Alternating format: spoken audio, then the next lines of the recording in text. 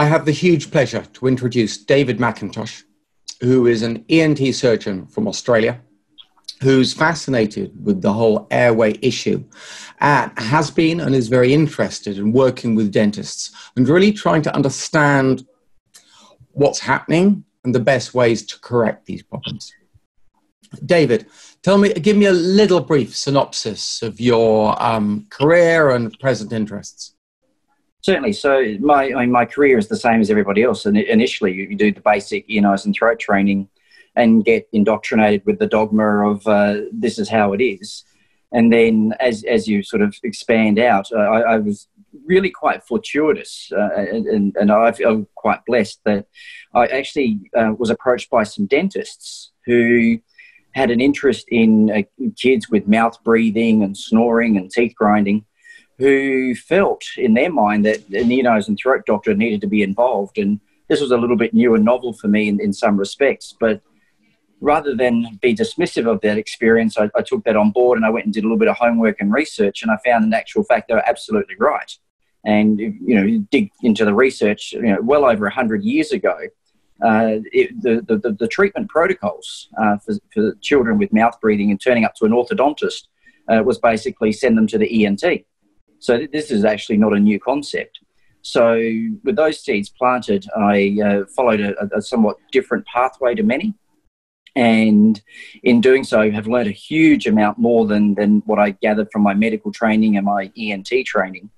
And I have a very different perspective now when I look at children in terms of airway problems and in the process now, um, I think dentists that, that I work with have a different you know viewpoint as to uh, jaw problems, and, and we mutually recognise that we need each other to get some outcomes that maybe we couldn't have achieved individually.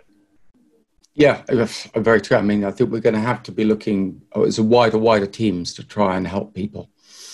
Um, I will never forget that during my orthodontic training, I had to spend two weeks in an ENT department, and I couldn't get over the fact of how similar the patients we were treating were. So, in the entrance to my ortho school, you would have a, a wide corridor with plastic seats down every side. And this was identical to the entrance in the ENT department where I did my two week placement. And the kids sitting there as you walked in, waiting, seemed to be identical. I mean, identical yeah. facial forms, yeah. And a lot of them even wearing brackets and row uh, fixed appliances.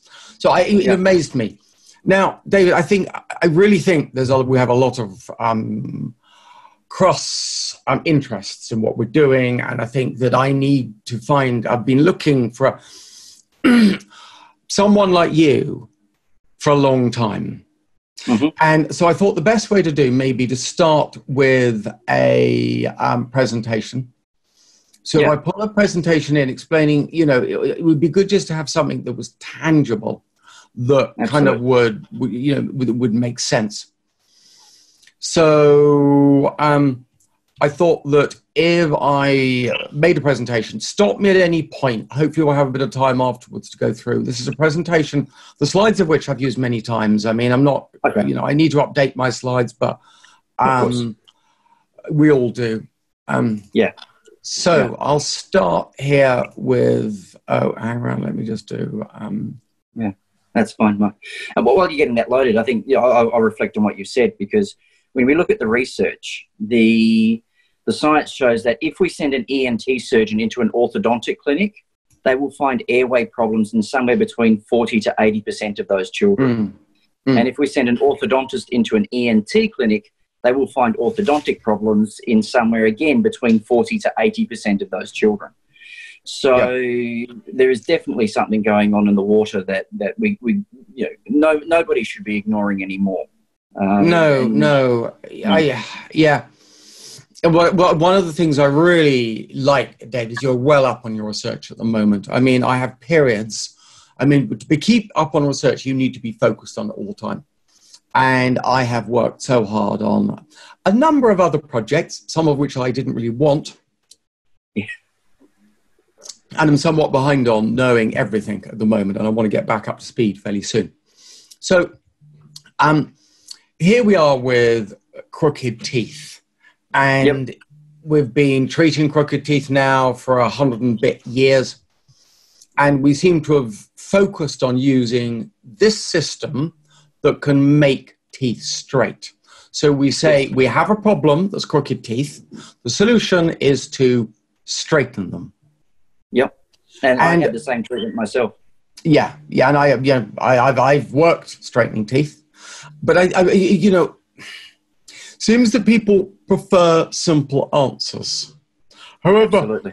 I'm worried about a lot of things here because I worry that from my viewpoint, we're only looking at a symptom, we're only treating a symptom, and you could have asked that to Frank. You could have asked that to Frankl many years ago. Yeah, and these teeth the also don't seem to stay straight. Yes. Now, you, if you when you actually look at the evidence, it seems that malocclusion is an evolutionary disease. Yep. So it's a classic mismatch between how we evolved to live and how we do live. So it's caused by the environment, but there may be genetic predispositions. So you are, because of your environmental change, you're likely to get malocclusion. However, your genetic makeup may influence what type of malocclusion you get. Yeah, so I, I, I run courses, and, and, and when I and I, one of the advantages I think I have is that, that I, I self-admittedly have no dental training. I'm not a dentist. I'm not an orthodontist. Yeah, but I also then have no bias from from yeah. From, no, no, no. That's excellent. Either. Yeah, and and when I when I run my courses talking about things and I you know discuss malocclusion, I discuss malocclusion in very much the same way as, as looking at cancer. Cancer is a genetic and an environmental disease. Mm. And there are certain elements of your genetics that will predispose you to getting cancer and will also make you vulnerable to certain environmental factors. And likewise, there are genetics that will protect you against exposure yes. to certain environmental yeah. factors. So, for example, not everybody that smokes cigarettes gets lung cancer.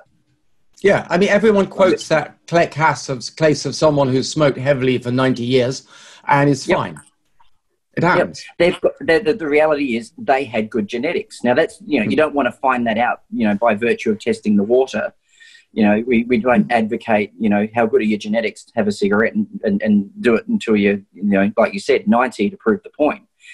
But you know but I think this is the, the, the reality too is that when we are looking at the manifestation of malocclusion, uh, people talk about well you know not every mouth breather gets a malocclusion therefore mouth breathing's got nothing to do with it that, that that argument's like saying, well, not everyone gets cigarette, you know, that smokes cigarettes gets lung yeah, cancer, so that's got nothing to do with it.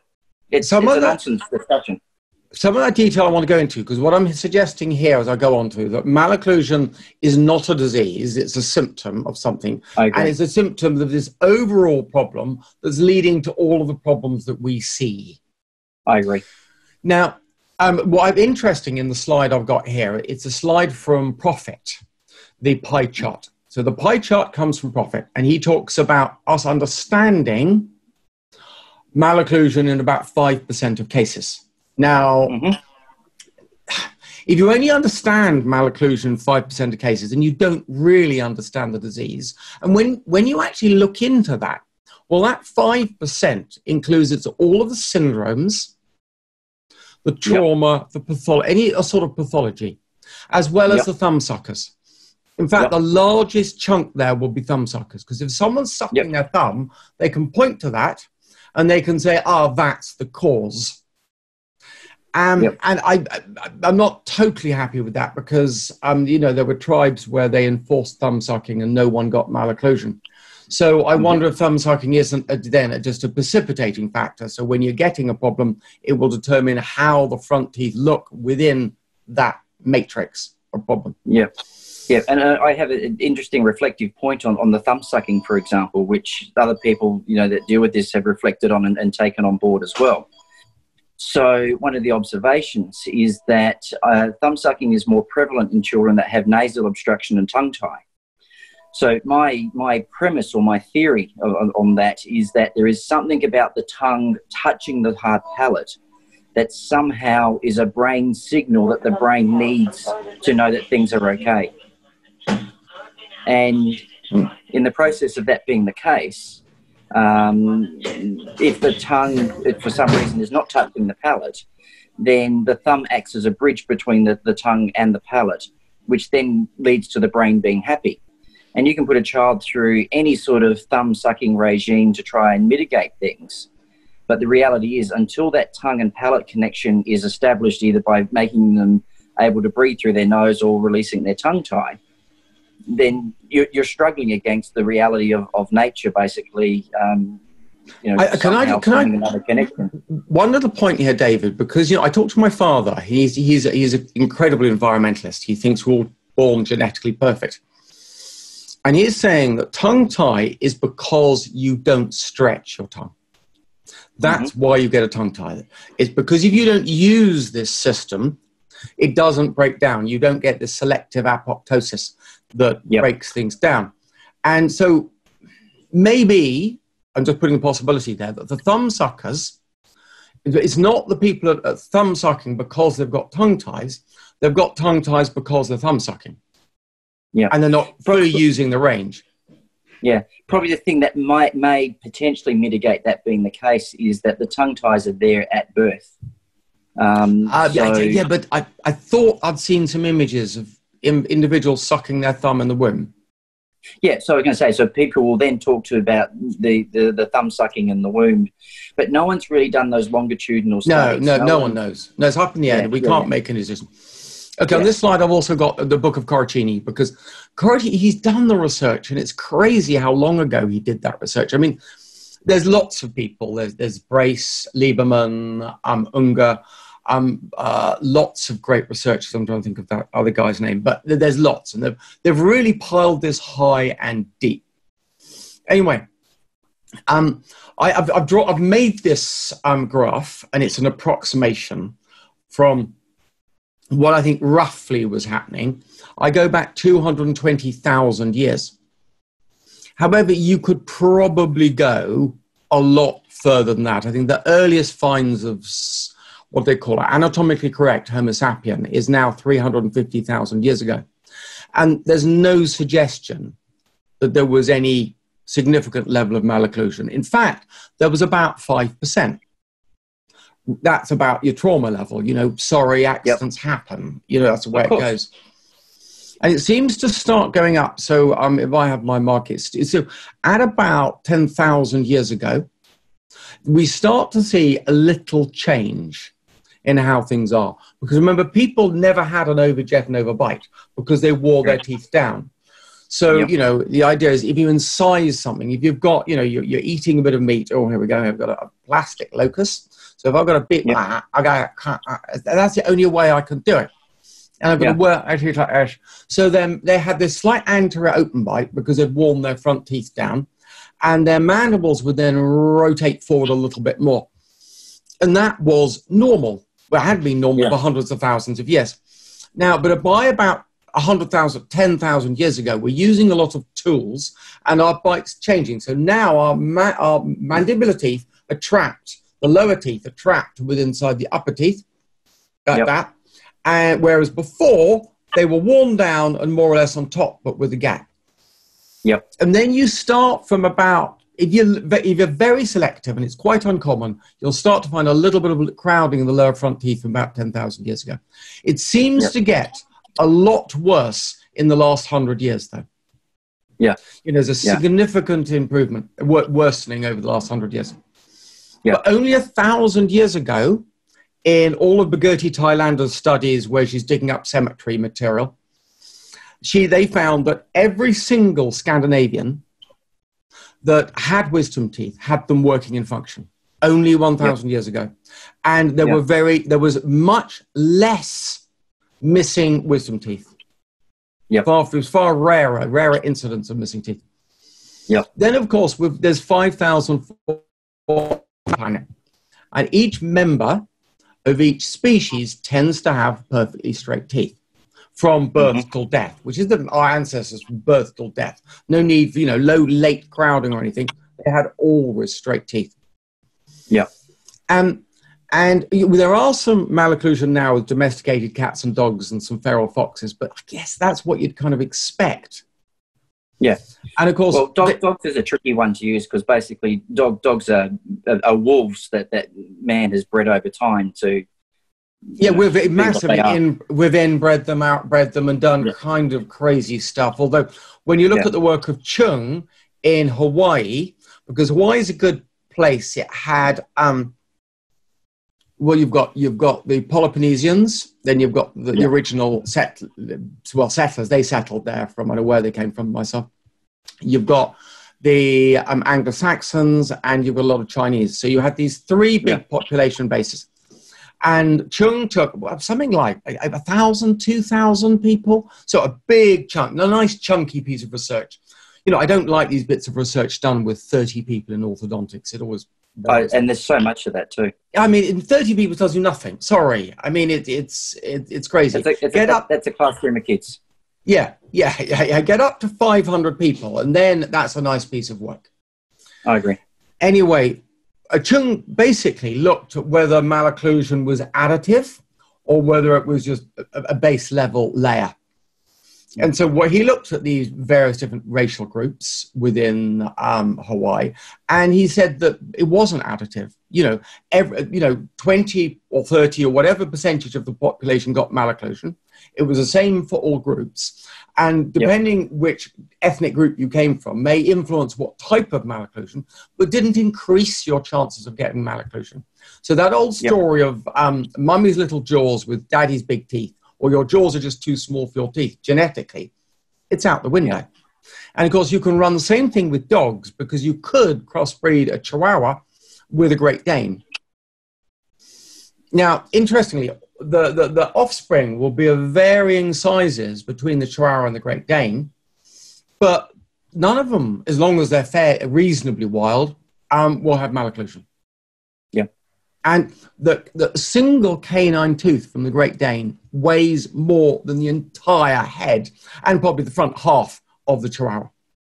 Yep. So um, it's, it's fascinating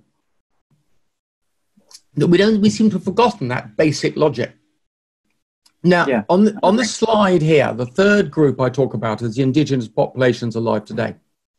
Yes. Now, as I mentioned earlier on, you only need a bit of flint and you've dramatically changed your environment. And yep. there's almost no indigenous populations today, alive today, that don't have knives. You no. know, a nice metal knife. And as soon as you have yep. a metal knife, you've reduced the amount of work on incising by a huge amount.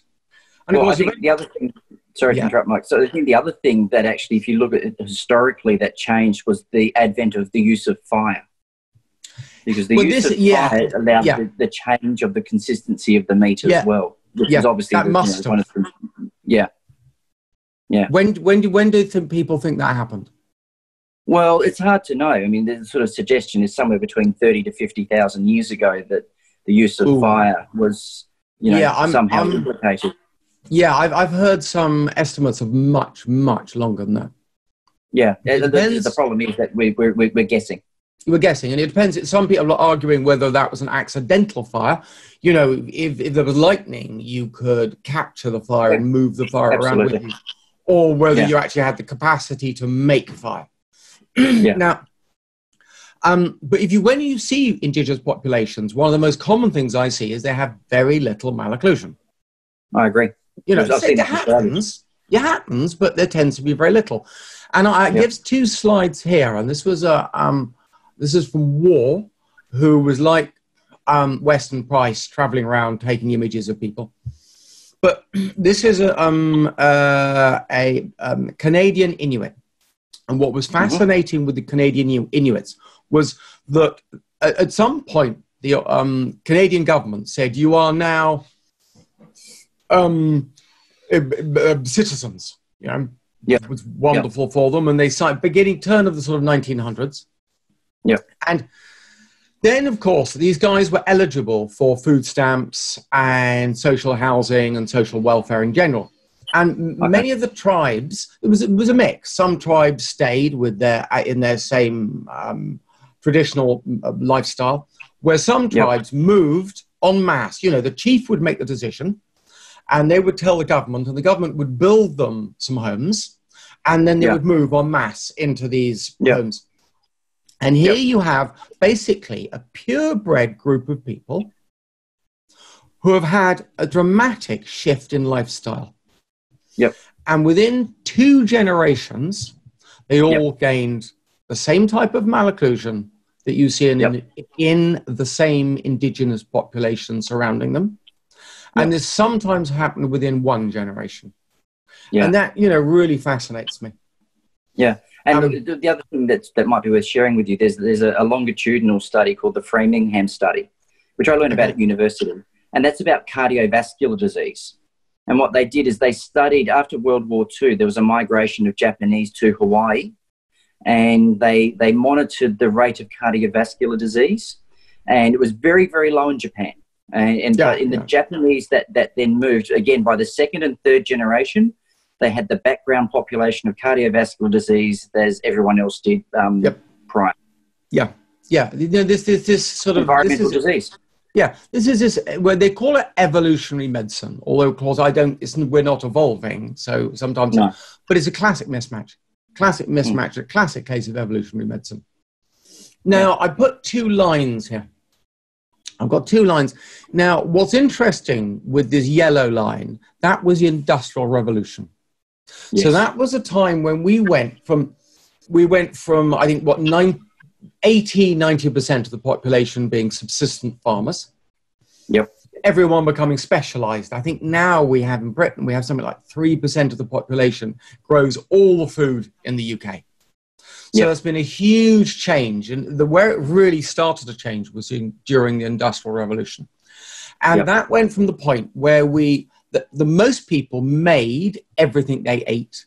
And then we moved yep. across to people buying what they ate to their food. Now, I remember being a student making some pretty lousy food, and I ate it. And it was late, and I didn't want to pay for more food, and I didn't want to go out. Now. I would never have paid for that type of poo in a restaurant. Um, no. And so once you become a purchaser of something, you become discerning. Yes.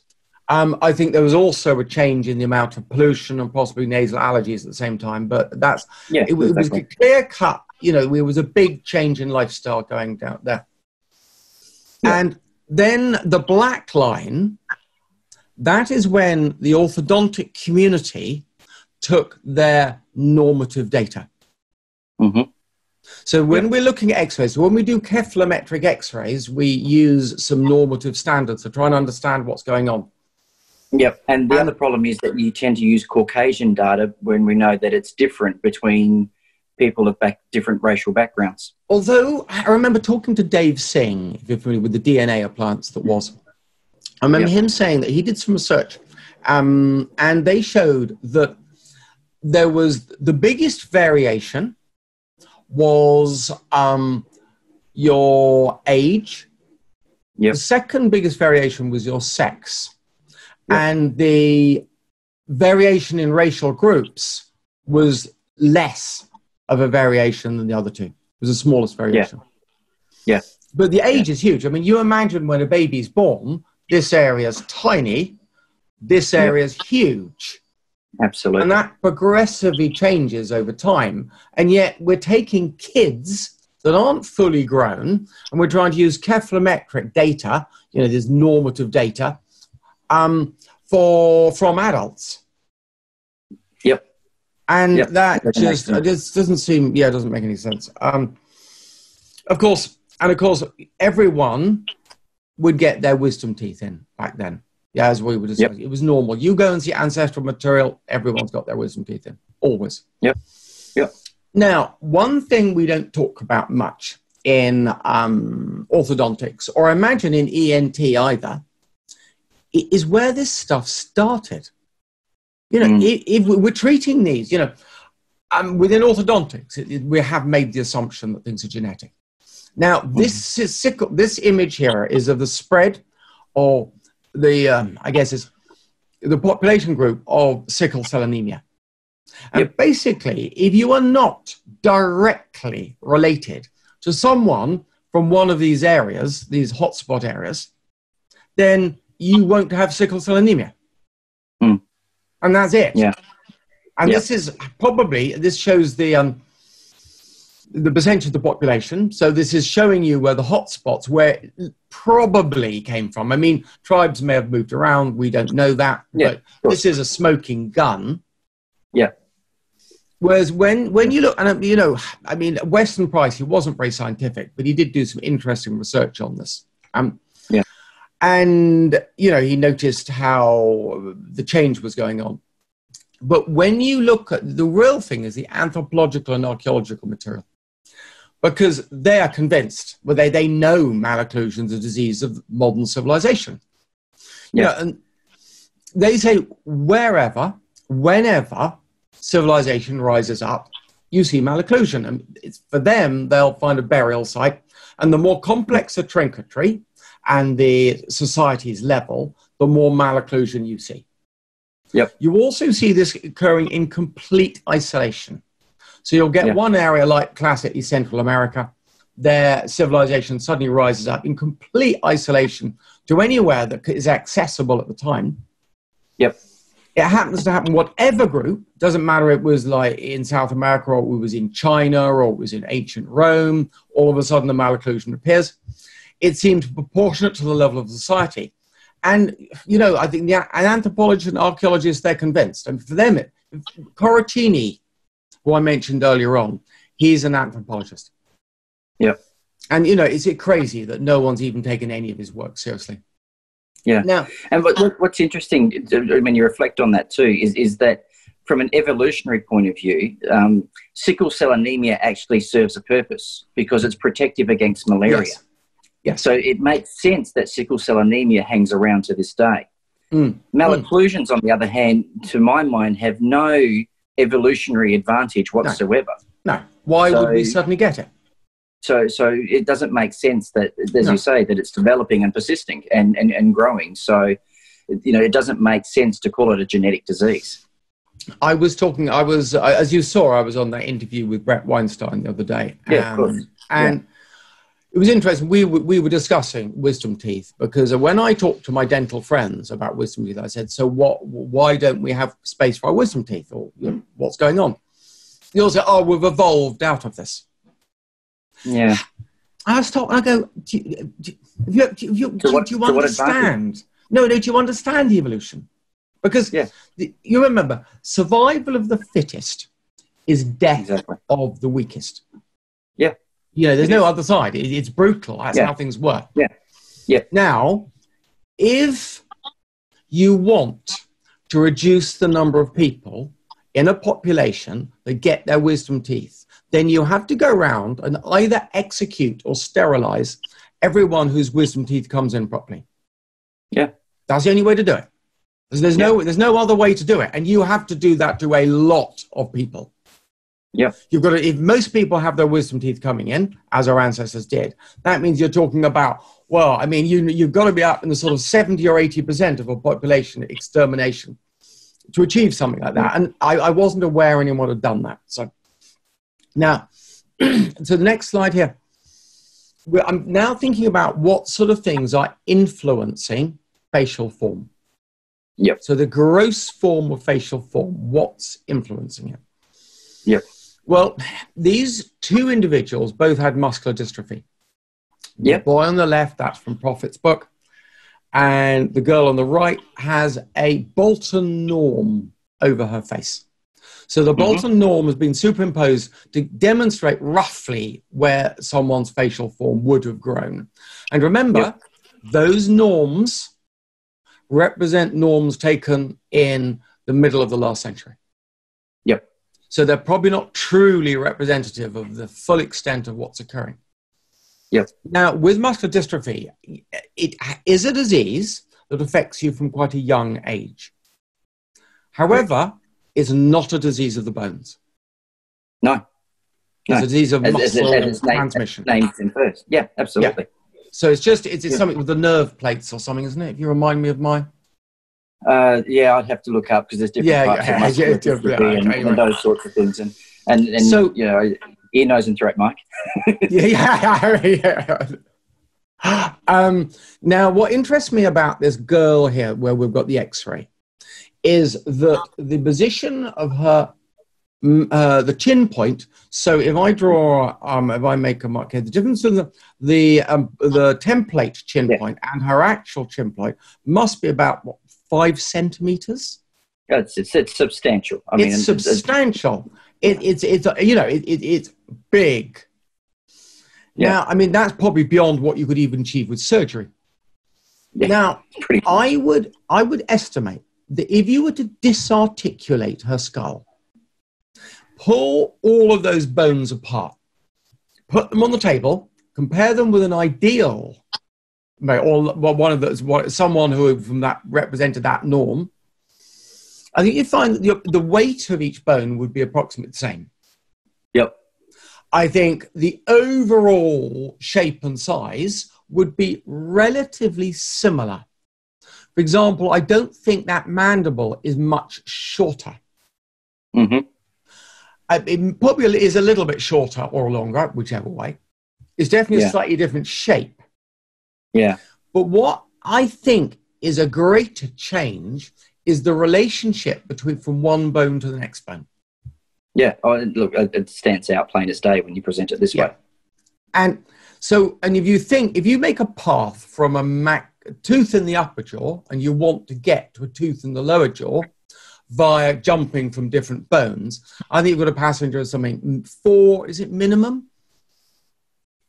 Anyway, you, you've got a passage of a lot of bones. You, you, could take, you could go around the back of the skull if you wanted to get there, but there's quite a few bones between the upper jaw and the lower jaw, and they Yeah. all have a range of adaptability. Yeah. Yeah. So, okay, so we, we know that muscle usage probably has an influence. And Yeah. of course, we know Well, that our you, sorry to interrupt. I can give you an ENT example where that's absolutely the case, Mike. So um, we have a muscle that sort of runs through our neck. It's called the sternomastoid muscle. It goes from the sternum, it goes to the mastoid. So if you follow that muscle up behind your ear, there's what's called the mastoid process. That is something that you're not born with. That is something that starts to develop as soon as you start to lift your head up and turn your head around. So at about six months of age, it actually starts to develop. So it's muscular pull that is shaping the bone. So that's Yeah. that's that's one example.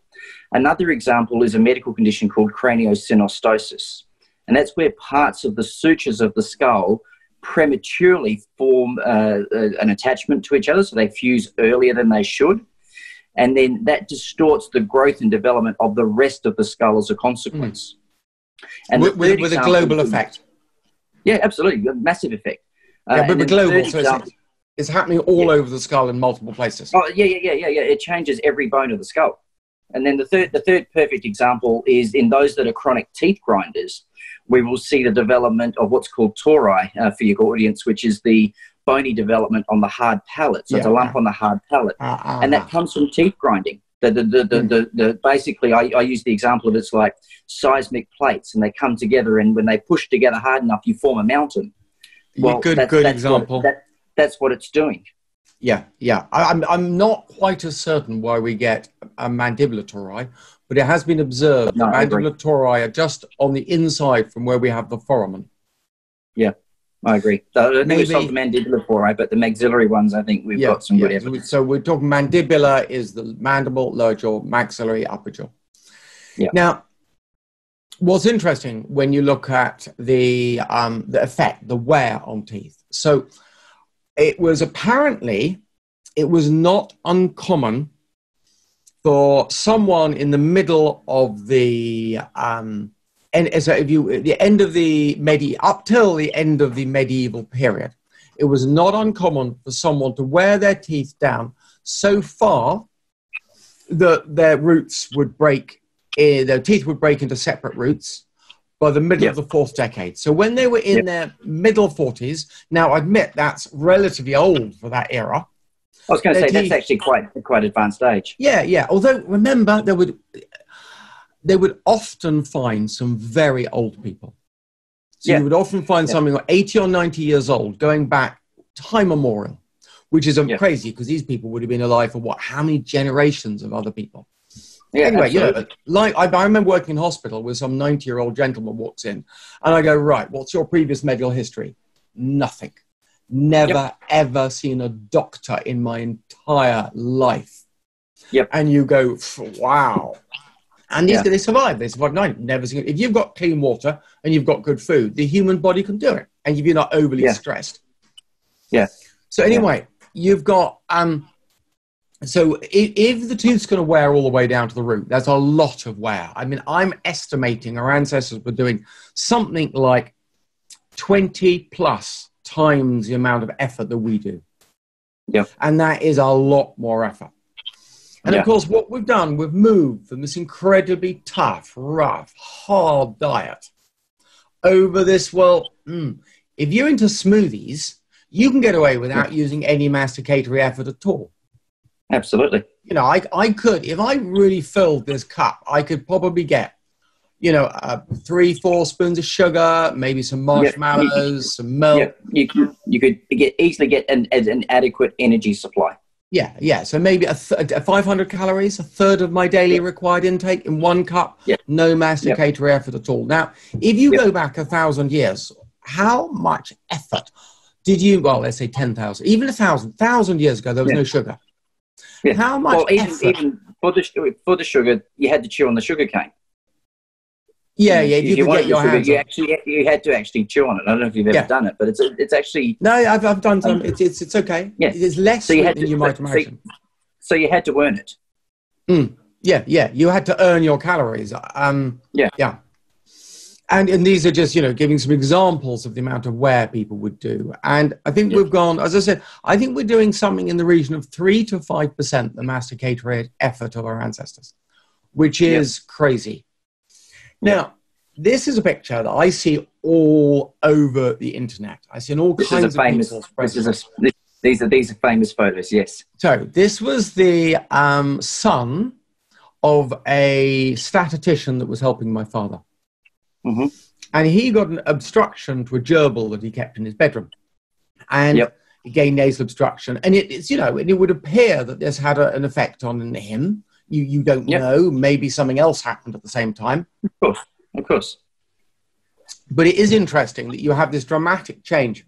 And of course, this then always reminds me of Harvold, who's done some great research in this. I was oh, going to say this is this is Harvold all over again. Yeah, Linder-Aronson as well. I liked his research, but let's let's go to yeah. Harvold because people always quote this paper where they block the noses of the monkeys. Yep. And Actually, the problem I posted is, it this morning on Facebook. wonderful. And you've got these the three outcomes that happened. One group yep. literally woke up decided, I'm not having this, and died. Yep. There weren't many of them, but it was interesting. They chose death over not being able to breathe out their nose. Then some of them breathed like this, going, yep. And they didn't get such bad malocclusions, a tendency towards a deep bite. And then some of them did this. And they yep. were quite badly affected. Yep. And the, the, the inference, you know, the rumor is that the different family groups went in different manners. I, I don't know. I mean, it's not been proven. However, he even before this, he did a much better bit of research that seemed, seems no one ever quotes. And this is, and he really did this properly. He had 18 controls, 18 um, experimental monkeys.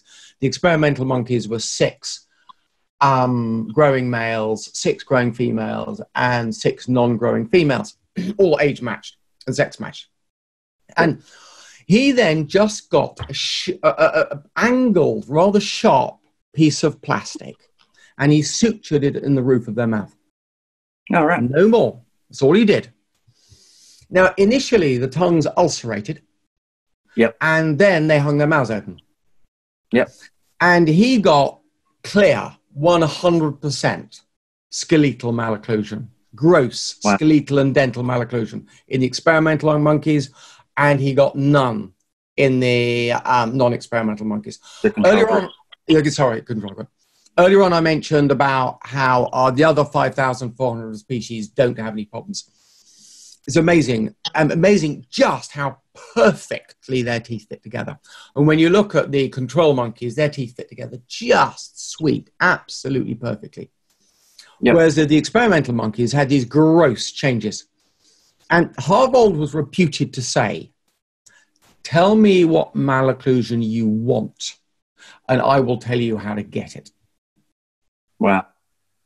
Um, So, um, and I mean, he, I mean, he, my father and Harvold got on like a house on fire. They really did. They were, um, mm. they were, they were good, good friends.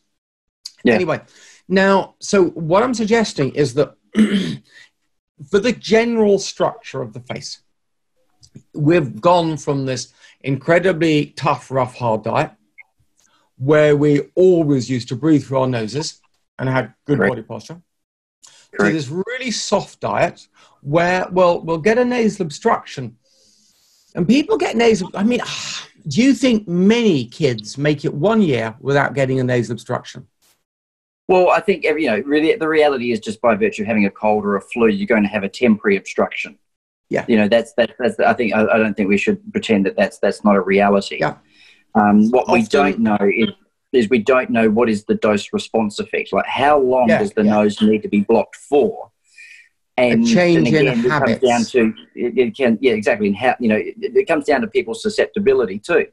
Hmm. So mm. you know this is this is the conundrum we have against you know the, that that genetic and environment thing is because again you can have your mouth breather that's got great genetics um, and is resilient to the changes that one would expect, or or maybe but has a harder food. Uh, yeah, exactly. And all those other variables that come into it that could mitigate against the changes that you would hypothesize should be hmm. pretty, you know, consistent. Yeah. Um, but but you know, so but you're absolutely right. Is, is, that we have this situation now where we've got, you know, I, I know from my own ENT practice is that if I look at what I was doing 15 years ago surgically to get kids breathing better, my intervention rate for nasal obstruction. So I'm not talking about adenoids. Adenoids are behind the nose. I'm talking within the nose itself. My intervention rate has skyrocketed. And also, the need for more aggressive types of surgery has escalated as well. So, not only am I doing more of it, but the type of surgery that I need to do is far more aggressive yeah. to re-establish nasal patency. In, so, you know, we, we, so you're that, suggesting a deterioration in symptoms? Well, I'm, I'm just sharing an observation. You know, I, I, I know yeah. what my clinic and my protocols were uh, 15 years ago. I know what they were, and I know what they are now. And I know that it was very unusual that I would have to resort to, in inverted commas, more aggressive surgery in children under the age of eight. Now I'm doing the same thing in children at the age of four that's that's over 15 years that where that has changed. Yeah, well, we'll come to that. I've got a slide where we can discuss that later on because that interests yeah. me greatly. Because you anyway, so we've got this, the two things that we've got reduction in the masticatory force, and then these nasal obstructions are causing people to first breathe out their mouth while their noses are blocked. But yep. to breathe out your mouth, you've got to lower your tongue off the roof of the mouth, separate the teeth, and separate yep. the lips. Now, yep. when you when your nose becomes patent again, you may or may not return to the same posture. Correct. And that's my concern. I think that yeah. people are what starts of obligation becomes a habit. And I see yep. all these kids like this. Yep. Uh, yep. Yeah, it says away, a classroom. Oh. Yep. So, um, okay, so I've got a diagram here done by father. And of course, if you've got your tongue up on the roof of the mouth, so that's your direct yep. forces. If you've got yep. your teeth biting together hard, your indirect forces, because it's via the periodontal membrane, yep. then your growth's going to grow. It's going to be under tight control. That's the way growth will grow. And that will look very similar to our ancestral norms rather yep. than our modern norms that would look similar to our ancestral norms. And yep. of course, you can see all of the space down the back here for your tongue, wisdom teeth, airway, swollen adenoids and tonsils. You can get them all in there. Doesn't matter. Yep. Yep. It now, accommodates them. It accommodates whatever happens. Now, then, if you're hanging your mouth open, you've got weak muscles, your face is going to go down. Correct and that's a different. And I think it's important just to highlight you because you're absolutely right. We've looked at the muscle strength in mouth breathers, and the muscle strength decreases. Yeah, one of the problems with muscle strength or um, intra variation. So when you look at Kiliaridis's research, he found that people with square faces had tougher muscles. And he had the averages were nice and clear, like you know a difference like this. Mm. But when you looked yeah. at the intra and intra differences, you had a great big overlap like that. So it yeah. was it was difficult to pinpoint one person, and that's I think because in my mind the overall etiology of facial growth direction is this dual dual thing between um, muscle effect. I haven't decided whether it's muscle, the time the muscle the, you're biting together, the hardness you're biting together. So I'm just calling it muscle effect. And then you've got the posture effect. And we'll, we'll narrow those down as we do research and we do a little bit of um, thinking in future. Now, one of the things is that you notice how this, as this face drops down, you have to remodel the mandible I don't think it really dramatically changes length. I don't think that's very important, to be honest. But the mandible has to remodel because there's only a certain pathway into the head. There's lots of other vital structures, so it has to be remodeled so that at least for this first couple of centimeter, it's running in the same track um, that it used to run in before mm-hmm. it downswung. And it, interesting, that looks identical to that girl we looked at earlier on with the um, uh, with the muscular dystrophy. Muscular dystrophy, yeah, yeah. Um, so, in in effect, I say what it tends to be. It's this is this is an ancestral. I think this is actually a an this is an ancient skull over the top of a Bolton norm. Mm-hmm. Now, the Bolton norms were considered good growing skulls. So that's why it's yeah. so dramatic because you can see the ancient skull. You've got this tip to tip ratio with the teeth worn down a little bit. And of course, in time, yeah. if they didn't have any tools that are created an anti-open bite, and you can see the incisors on the um, Bolton skull are set back and down. So they've got yep. what we refer to as it's downswung. So it's gone down yep. and back we've got lots of words for this. We talk about horizontal or vertical growing. That's a common term. The one that Bjork used was anterior or posterior rotators. And they're all looking at slightly different things and they've got baggage. So we're trying to use the term an upswing or a downswing in facial form. Yep. Now, what really interests me here is that you can see how those incisors have dropped down and back. And that is quite uh, a lot but nothing compared to how much the molars have moved back. Yeah. And the reason behind this is, of course, it's a three dimensional uh, structure.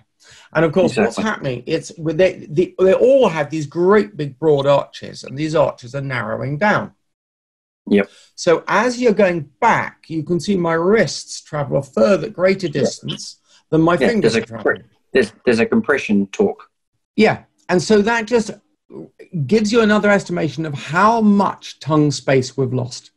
Because when we look in mouths and people say, Oh, I can see you've got a narrow arch, I'm thinking, Well, yes, but you've also got an arch that's less long and is yep. set back further yep. down towards yep. your airway. Yep, exactly. You know, the tongue extends down to the hyoid bone.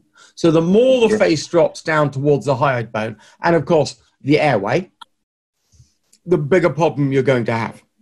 Exactly. Now, in a way, this is a little bit like if you'd had a stroke. Yeah, it is. So you know, you you you've got. You, you, it's a bit like, as I said, you I, I, I, you liked my comment I made the other day that it's a bit like someone's got a waxwork model. That's your face was made of wax. You get a little bit yeah. too close to the fire, and it whoa, just melts down. Yeah, so I did a, did a le- yeah. I did a lecture called Modern Melting Faces, and that's basically what I'm wow. saying, effectively melting down. Yep.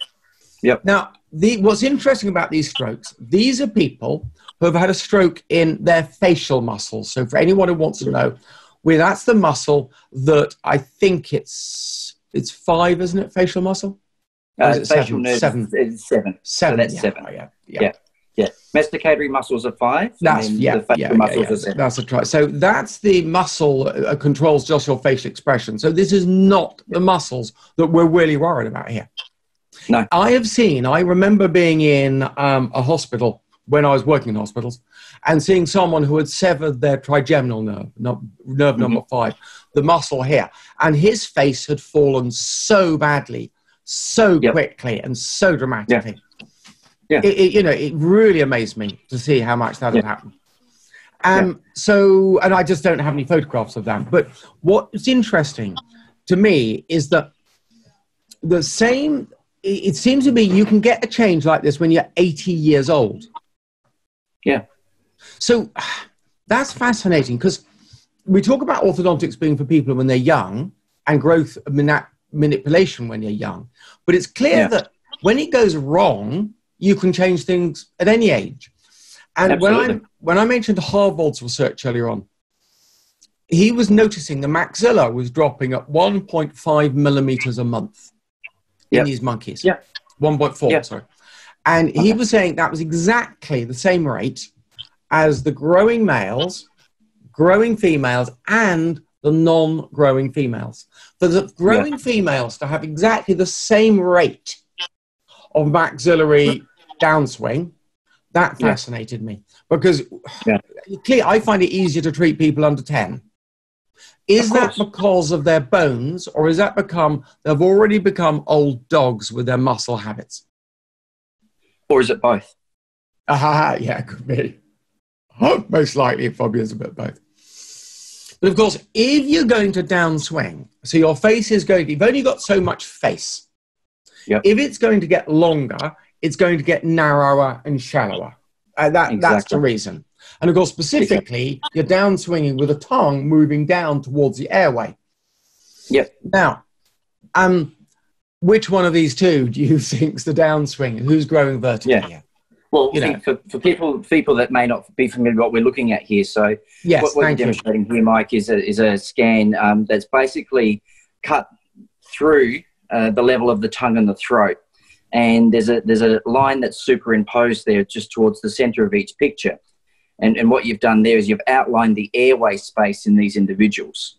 And the, the, the, the simple you know, observation, once that's explained, is that there's a, a marked difference between the airway space available from the left versus the right. Yeah. So for, for the person on the right to have the same, you know, normal degree of breathing, uh, there's going to have to be a hell of a lot more effort to basically be normal. Mm. And the pro- problem, of course, is when you're asleep, that's not when that that's not what happens. So Well, yeah, when you're, as- when you're asleep. Now, this is interesting, David, because I've, I've thought about this one. And Hmm. it's almost as if the tongue, um, I don't have an image of it. If you imagine the tongue like a long snake, mhm, Now, we've had to, as craniofacial dystrophy, as I term this change, has affected us. It's almost as if we've had to compensate. And it's almost as if the tongue, the bits of the tongue are now in slightly different places. Yep. Yeah. And the whole structure has changed. You know, the architecture has changed. And because the architecture's changed, we're now having certain functions occurring at slightly different places. And Yeah. because certain functions are happening in different places, to maintain an open airway, particularly when you're at a disadvantage, you are having to recruit muscles that would normally be um, conscious. passive. Go- Yeah. conscious, conscious muscle. So, Yeah. you know, internal it's ectoderm on the inside, coming from the inner bit. You know, your heart, lungs, Yeah. tissue. I don't worry about how they get on; they all they run themselves.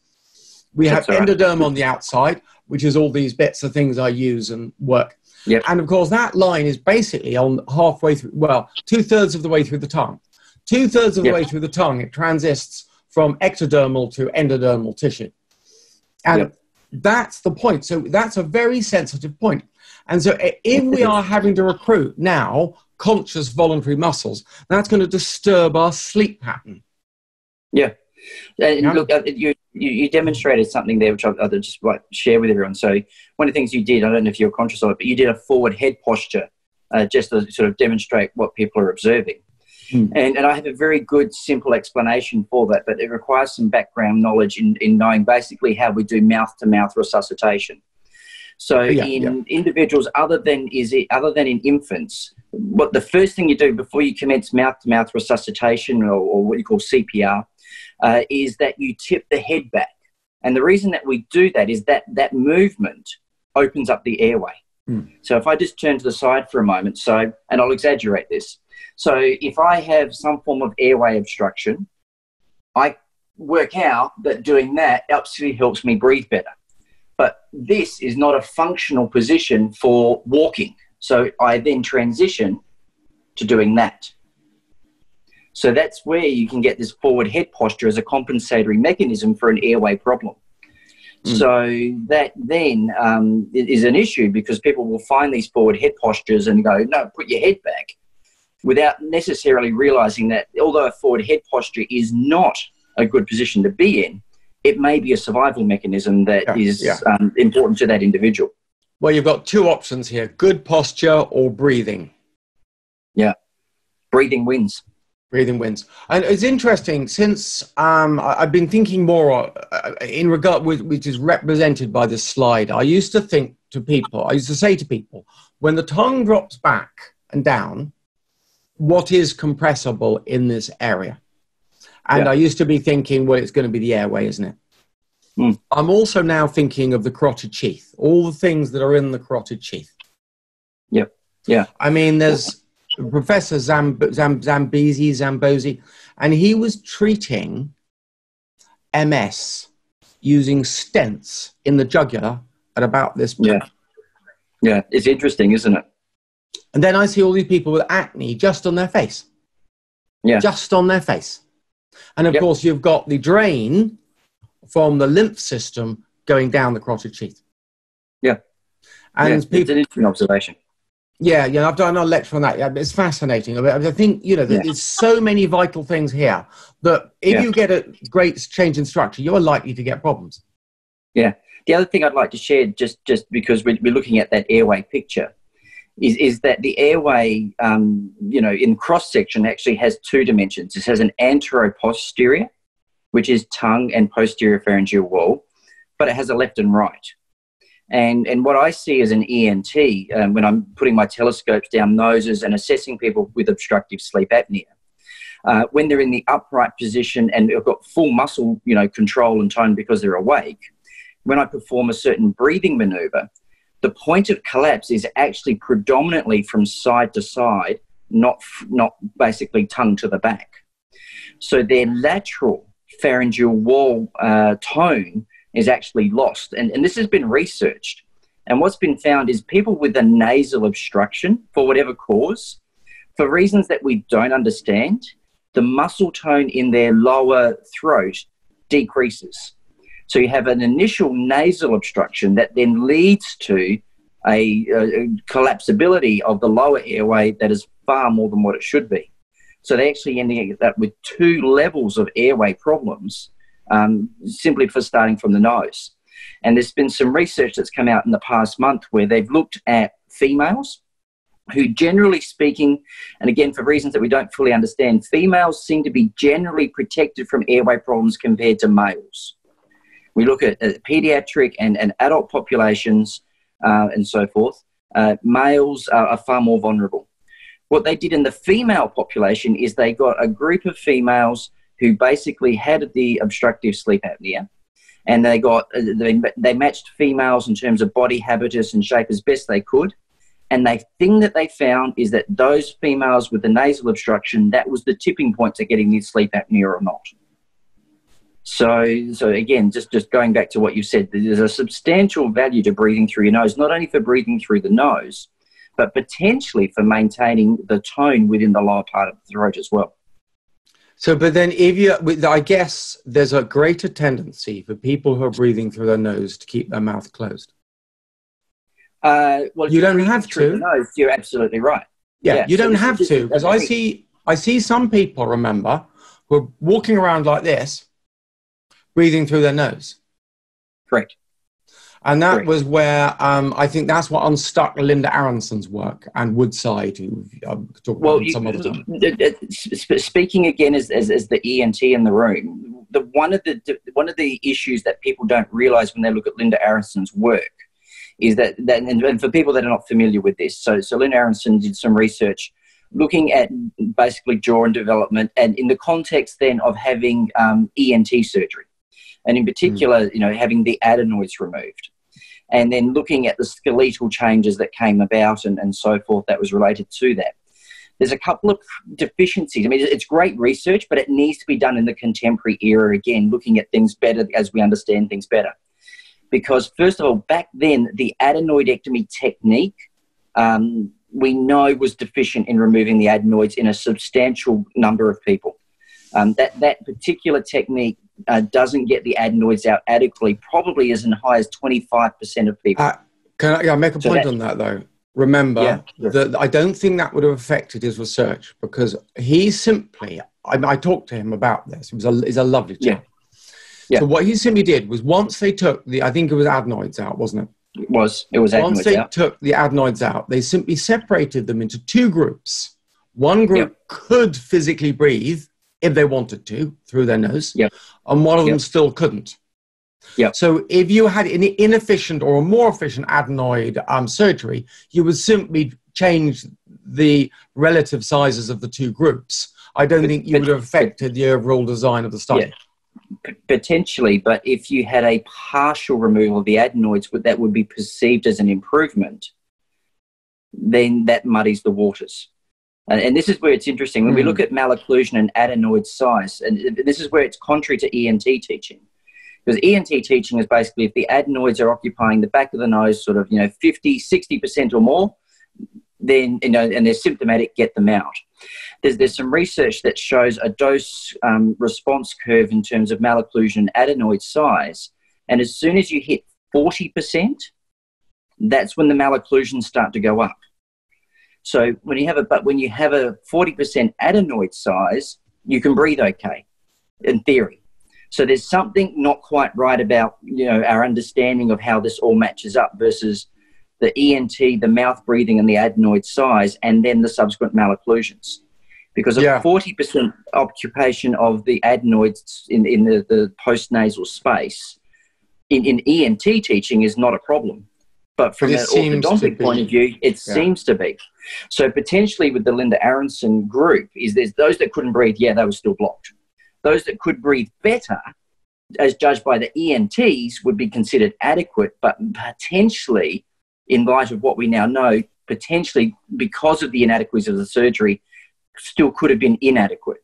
Yeah. And then, of course, the other issues are then, you know, what else was going inside the nose? Was there a deviated septum and was there, you know, turbinate problems? And the other thing that I would highlight, because I see this particularly in adults, is that I see mouth breathing adults who are absolutely convinced there's nothing wrong with their nose. Um, and as soon as I look inside their nose, it's, it's, it's nearly completely obstructed they've, they've developed a sensory amnesia to having a problem. Yeah. And I'm seeing this in kids as well. They, they think their nose is fine. You look inside there, and I show the parents and just go, this yeah. is blocked. But David, this is what, one of my um, observations of medicine in general mm. is how that we're all looking at single point um, recordings. So most, you know, when you talk about you, you look at some research on people's blood pressure. Well, that yeah. blood pressure will usually, particularly in the past, would have been a blood pressure taken by a nurse wearing a white coat in yep. a hospital at a particular event. Where and is that representative of how people would be normally? Um, yeah. Probably not. But you know, we're now no. getting these fantastic little devices people wear on their wrists. They're taking medical data all the time, and I think we're on the edge of an utter revolution in medical understanding because we'll suddenly be able to get yeah. in data all day long. Um, you know, yeah. I, I, saw well, this thing. We've, we've already seen that in, in the adult sleep apnea world because we do these things called sleep studies, which is a one yeah. night point study. Um, there, there are certain type of pacemakers that have um, the ability to record um, elements of the breathing as well. So there's amazing technology. Oh, wow. And, and what they've done is they, they can take this data for you know six months of data um, and you know they, they, they've got all these algorithms and you know the, the, the clever people that, that, that, just run these supercomputers that, that you know work out all these algorithms yeah and what they show is that there's a probably a 40% variability over the course of six months as to what one night of sleep could be in terms of a bad night versus a good night yeah so that forty percent difference. Yeah. So taking so, your snapshot at one moment in time is, is is, is is you know you don't see the whole movie. Yeah, Yeah, and that may explain this difference you're seeing with the noses, um, the adenoid um, uh, obstruction, Absolutely. because you might not see that on the day, but you know, because they'll tend to be well when they come in. You know, people yeah. don't and, go and, to and, hospital if they're not yeah. well. Well, yeah, and the other thing is we get particularly caught out with nasal obstruction because there, there is a, a couple of types of nasal obstruction that are only apparent when you've been lying down for a while. So when people come and see me during the middle of the day, they've been upright, their noses look perfect. Yeah, I, I, know sometimes that stuffiness. We, you're fine when you're sitting up. You go to bed at night, and all of a sudden you feel a bit Correct. stuffy in your nose. Correct. Yeah, and there's a couple of different reasons why that comes about, and but that's where you get caught out because basically that's where our history is really important. Because if you just rely on the physical findings at the time, go, oh, this nose looks fine. You've got to go. Hang on a sec. All right, tell me a little bit more about your nose when you're lying down what do you notice? And you go, oh, look, as soon as I lie down, um, you know, it starts to block up. It starts to block up on one side, and then I have to roll over to the other side. And then, you know, then I go right back to the other side again. And it's just like, you know, they describe it as fluid shifting back and forth. Um, it, you know, it, and it's not a gravity thing. What, what there is is on the side walls of the, the thorax, um, there's little uh, sensors that actually then, for some reason that, that we don't understand why, actually interplays with nasal congestion. And this was identified back in the 50s and 60s, so 1950s, 1960s, just so we know which decade we're talking. So did you say size um, of the thorax? The, yeah, the, the side, on the side wall of the chest and also under the armpit, there are sensors that when their pressure is applied will um, have an impact with respect to um, nasal congestion. And if you want to go and look this up, the, the research was done in the 1950s and the 1960s and it was basically in people using crutches. So if you'd broken your leg or had an injury and you were on crutches, when you were using crutches, your nose would block. So, so it's called the crutch reflex. Now you ask you ask, you, ask a hundred doctors if they've ever heard of this, and they'll, they'll have no idea what you're talking about. Yeah. But when we when we lie down on our side wall, you know, like the side of our chest, side we're lying on, that causes congestion on that side, so we roll over the other side. So that's one variable. The other variable is when we're upright, we, we, we're basically just bags of fluid, okay? And that fluid is, is quite mobile in some regards. So when we're upright, just by virtue of the gravity, that fluid will tend down towards the lower part of our limbs. When we lie down, that fluid can redistribute, just like, you know, if you have uh, water in a glass, you know, if you hold the glass upright, it's there, you turn it there, it's on the side of the glass. So that fluid shift can go up and actually cause some congestion as well. And then you can have certain nasal allergies or sensitivities to colder weather that cause nasal congestion as well. So, so you've got to be very careful about making a daytime assessment of the nose because of those nighttime variables that you would not otherwise appreciate.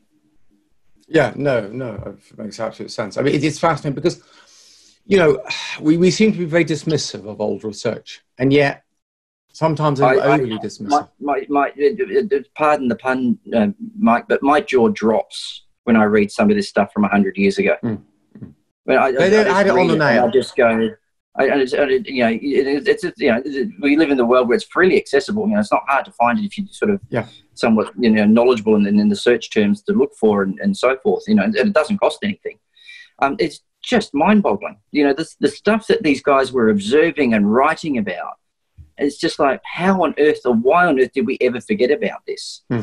And then one, one thing that I think would be interesting to look from, from your point of view, because you, you have access to this um, data more than I would, but just as an observation, again, as an ENT, if we go 100 years ago, okay, ENT practices, and ENT was really just a, a developing specialty in, in that era. You know, it was sort of a mismatch of a couple of different things, you know, as it was evolving as its own specialty. About 100 years ago, the number one reason, when you go and pull out all the old books, the number one reason that tonsils and adenoids were removed was for snoring. Okay? Now, there was also an element of history where that particular procedure was significantly overdone, substantially overdone. Um, it was just done for the sake of it. Uh, but and then that was followed by a period of history again just after the advent of penicillin um, where basically the idea of doing a tonsillectomy fell off the bandwagon, um, and next to none were done. And when you make an observation in more contemporary times, um, in terms of the change of obstructive sleep apnea, and you look also at the changes in malocclusion in more contemporary times, I suspect that, certainly from the obstructive sleep apnea, I suspect from the malocclusion, even though there was a significant overtreatment with regards to adenoid and tonsil surgery, there was possibly an accidental and inadvertent benefit to a huge group of the population with respect to the fact that they were protected against sleep apnea and potentially some forms of malocclusion as well. And then the malocclusion started to escalate again, um, you know, as the tonsillectomies were, were stopped. And 20 to 30 years after that, we started to see the obstructive sleep apnea in adults. You know, when I went to university, uh, obstructive sleep apnea was a new and novel thing. And it was yeah, all put yeah. down to diet and overweight and obesity, and no one really paid well, attention. I've, I've got a slide on sleep apnea. I've got a slide Brilliant. coming up. Sorry to preempt you there. No, no, no that's audience, right. At least the audience knows I haven't seen your slides because you know yeah, yeah. think this is a setup, but this is great. So anyway, so we've termed this general change in facial structure as craniofacial dystrophy. And dis meaning bad or wrong, trophy meaning development come growth. Yep. And you know, the basic thing is that, that something that um well I'll, I'll come to that. That's the next slide. So now what what I think is interesting is, you know, when you look at um physics and astrophysics and a lot of these scientists you really have this thing with the you have the theorists and you have the observational uh, the experimenters you have the theorists and the experimenters and, yeah. and, it's amazing how effective this has been over the years um, but we don't seem to have any theorists in medicine uh, look, I, I, wouldn't be so despondent. I, no, I, think we've no, got, there are. We've, we've, we've, got we've got a good number. Um, but the, the, problem with medicine, I, I, suspect is the same in dentistry in all its forms. The, the problem in medicine is when the, you come across and, and, propose something that is completely contrary to the status quo, mm. the initial response is to uh, consider it laughable. And I can give yeah. you the perfect example in my lifetime is stomach ulcers. Yes. So stomach stomach ulcers were considered to be a disease of the vagus nerve and the surgery for it was what's called a vagotomy. So it's a surgical disease, and what you did is you went in there and you cut the vagus nerve, which uh, depletes um, the stimulation for the production of stomach acid, and you know it was basically an overactive vagus nerve that was causing it. Um, ironically, it was Australians suggested no, yeah. it's actually an infection that is causing stomach ulcers. They were laughed at. Fast forward to now, it is the leading understood cause of stomach ulcers. Yeah. And if, yeah. if they, if they, you know, and, and to, to, you know, for someone to have even bothered thinking about this and then, then, you know, then explore it and investigate it and study it and then suggest that, you know, everybody was wrong, um, you know, is, is just laughable. But yeah. here we are. And, and medicine is littered with, with these experiences of, anything that you know is established um, is, is you know could never be wrong. Yeah, and I think there's it. a fabulous there's a fabulous quote that comes from a, a lecturer at the Mayo, um, I think it was the Mayo Clinic, uh, the professor, and he said to his students allegedly, 20% of what I'm teaching you now is wrong. The problem is I don't know which 20% it is. Yeah. Yeah. Um, I remember. So reading, I think, yeah. Yeah. Okay. So it comes up in the next sentence I made. So in medicine, you know, if an idea contradicts current thinking, or if you're the wrong person. So we've got this, we, do have a tendency of having this hierarchy. If someone doesn't have a PhD or they don't have the specialization, yeah. I sometimes think you, people can get a bit blinkered. Yeah, I agree. And, and of course, we've got this concept where everyone's saying prove it, and we seem to have forgotten that it's supposed to be about disproving something because often it is very difficult to prove anything. Yeah. And of course, my last point on the slide is we've got very little information on how function in the face is affecting growth because yeah. it's hard to measure function. Yeah. Well, posture is even harder to measure because it's basically function over time. It's how you function you know, for an hour right. here or function for an hour here. There's exactly. almost no evidence on posture. So no one can prove me wrong on any of this yeah. Because there's just no evidence. You mean a yeah. lack of evidence. Yeah, I agree. Um, so I, I, go on now to say that, that basically, if something's not the right shape, so a face that is not the right correctly, and that's simple. And of course, we can't forget that the face is connected to a body as well. And that's yeah. mainly as we're talking about forward head posture and these other things. Yeah. Now, well, it's that whole form and function, function and form again, isn't yeah, it? It's, yeah. It's, yeah. And of course, you know, as a face lengthens, as it downswings, it's going to become narrower. Correct. And the space above the roof of the mouth, so the roof of the yep. mouth here, right? Yep. Yep. Is a nose. Here it is. There's the yep. nose. Yes, the space there is there. And of course, yep. here's the same illustration, but in a. Um, so this is a cone. This is a three-dimensional X-ray. Someone's taken, and they've sliced it about here. So it's like you slice someone's head about here. Yep.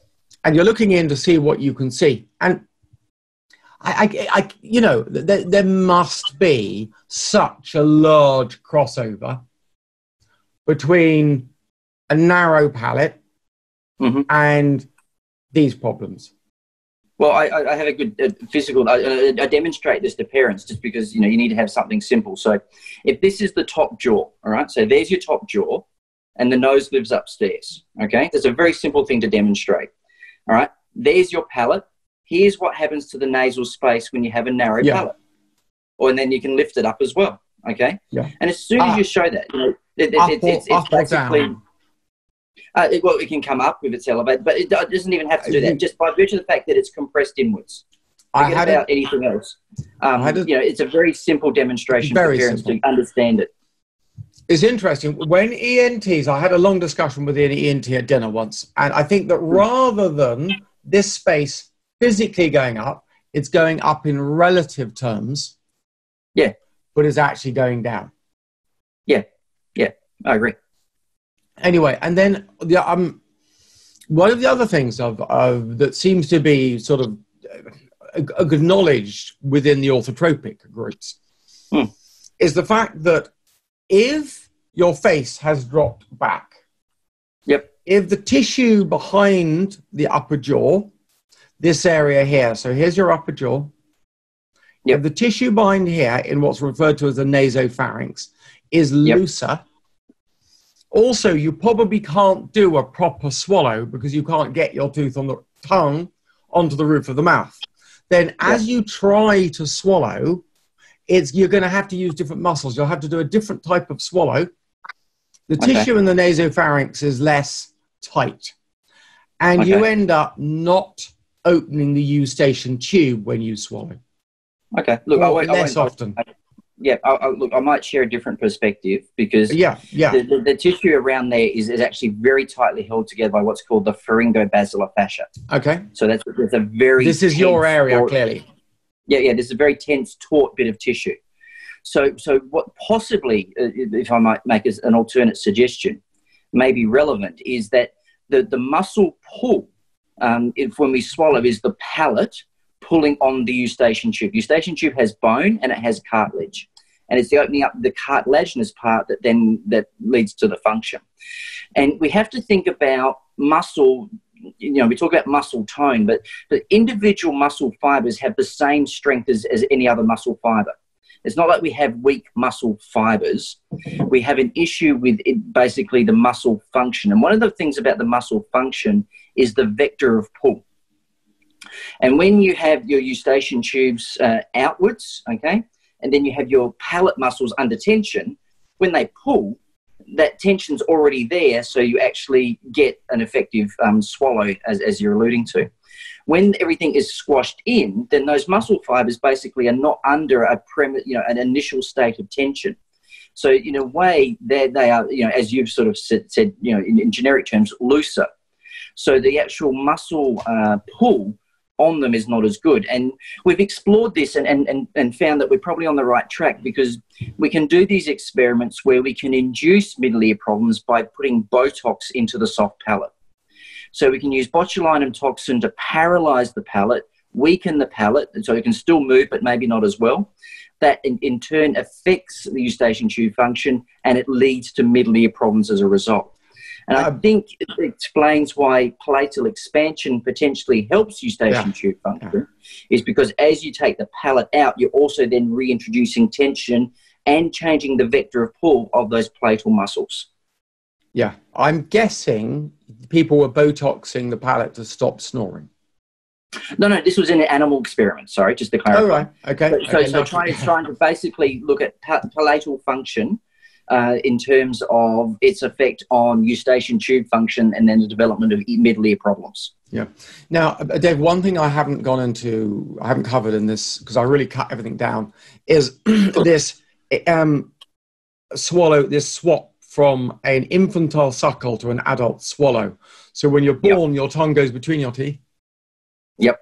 And you yep. use yep. these the, the cheek muscles to um, suckle. And then at about somewhere between one or maybe a little bit earlier and somewhere between three years old, probably, you've got to swap from a suckle to an adult swallow. And I think this is inhib- being inhibited by tongue ties, by lack Agreed. of breastfeeding, Agreed. Um, uh, nasal intubation. Yep, I agree. Um, you've got, to, you've got to be careful the nasal intubation because the nasal intubation actually deviates the septum as well. Uh, well, yes, yeah. yeah. I've seen some some that I've definitely think. Or, or then on the other hand, David, as the the various downswings, we were discussing this briefly the other day, whether or not yeah. that causes the um, septum to buckle. Yeah, it's an interesting observation, and and I've I've heard that theory before and, and I understand the premise of it. But one of the things is uh, I, I haven't con- I'm still not convinced. And, you know, yeah, I'm, fine. not, I'm, yeah, not, yeah. I'm not, not, disputing yep. it, but I'm still not convinced. Um, and then the other thing I've heard is that you know deviated septums don't happen in other primates. But uh, when I heard that, I thought, wow, that's really interesting. So I went and looked it up, and it was actually not true. So, so, so roughly speaking, about 10% of primates in, in one study that I found, and these are wild primates, these are not in zoos and all these sorts of things. I think it was primates in Malaysia from memory or Thailand, I can't remember. Um, but they were in the wild, and, and 10% of them had a deviated septum. So I, I think, again, a deviated septum is a manifestation of all sorts of things that we really don't know because we weren't there at the time. There's sometimes there's an obvious history of um, you know, some form of, um, you know, trauma that, that, you know, makes sense as to why it then is subsequently out of place. We can do um, fetal ultrasound scans, and some of the research shows that up to 15% of the septums are deviated in those studies. But then when we look at babies that are born, it's about 3%. So there's a, there's a, there's a bizarre thing going on that again no one's done the longitudinal research yeah, yeah. to uh, to get a good cohort and just just you know watch over time you know what is happening what is evolving. We're, we're, again we're looking at the end point and we're trying to explain the movie. Yeah. Yeah. Yeah. Uh, yeah yeah anyway and then we could talk about adenoids on tonsils i think we've, we've oh, covered oh, we could i bore you to tears yeah, yeah. um, Okay, the next one, of course, is um, sleep apnea and snoring. Yeah. Um, and so I, when I did some research a while ago, I found out that the one of the most statistically significant predictors for sleep apnea was yep. the distance from the insertion of genioglossus here, yep. front front yep. edge where the tongue's tied in here, to the yep. back of the so the posterior pharyngeal wall, so the back mm-hmm. of the throat. So that distance there was one of the most statistically significant differences for sleep apnea. Yeah. And what's happening is faces are just dropping down. As faces are down swinging, this distance is reducing. Your tongue's effectively going down into your airway. Oh, yep. so I, I noticed this slide has been malplaced. It's slightly over that image, but never mind. That's right. Now, I think you know. I think it, it's. It, I don't know. Have you got anything to add here about sleep apnea? Well, again, I, I think we've made the mistake of calling it a disease um, without recognizing that it needs to be phenotyped because we have different contributing factors that come into play. So we know that we have skeletal deficiency, we can have soft tissue excess, we can have weight excess, we can have muscle tone problems, mm. we can have Uh, other things going on with regards to you know, structural deviations of the nose, for example. We can have neurological contributing factors, and those neurological factors can be uh, central factors in terms of how the brain functions for whatever reason. Uh, and we can also have peripheral chemoreceptor issues going on. And we are, again, not really following things longitudinally and, and so forth. So to try and pin obstructive sleep apnea down to one thing would be like to try and say that arthritis is due to one thing. There are multitudes of type of arthritis, and, and, and medicine has categorized them and classified them. We haven't done that very well with obstructive sleep apnea. We basically yeah. just measure we measure it on a sleep study, and we say this is what it is. And then, you know, again, the analogy that I use that that'd be like doing a blood test and saying that you're anemic. So, Mike, if I did a blood test and found that you're anemic, there would be a big difference between you being anemic because that you you at this moment in time have an artery severed and you're pouring blood out at a massive rate of knots versus maybe you've just become a little bit iron deficient over the past 20 years. Yeah. But when we measure it on a blood test, the outcome would be the same. We'd say, oh, you're anemic. But clearly, there's two very different clinical scenarios in play. The problem now, with obstructive sleep apnea is we don't address those clinical scenarios in the same no, way. No. Now, what I'm going to hypothesize here, mm. talking to you, is that we've got to we've got to we've got to consider about ideal, so ancestral ideal, modern normal, and people with malocclusion. So yep. you've got ideal, modern mm-hmm. normal, people with malocclusion. Yep. Yep. So what I'm going to hypothesize that the, the facial shape is the cause of sleep apnea. The other factors you mention are contributing factors. Yep. So my hypothesis goes that if you've grown like an ancestral norm, yep. then it doesn't matter if you have those extra factors, it's not really going to affect you. If yep. you've grown like a modern norm, well, those factors yep. could impact you, particularly if you've got more than one. And yep. if you've become an orthodontic norm, whatever we're going to call someone who's very downswung, then those factors, any one of those factors, is going to kick off and cause you serious problems. Yeah, absolutely. absolutely. And, so just and, as a, a, hypothesis to put up there. Yeah, look, the, the, the, my, my, when I talk about this, I use the analogy of a room. Okay, so if we have a room, okay, do you have a ballroom or do you have a broom closet? Because that's your bone structure. So that's the physical space available. All right.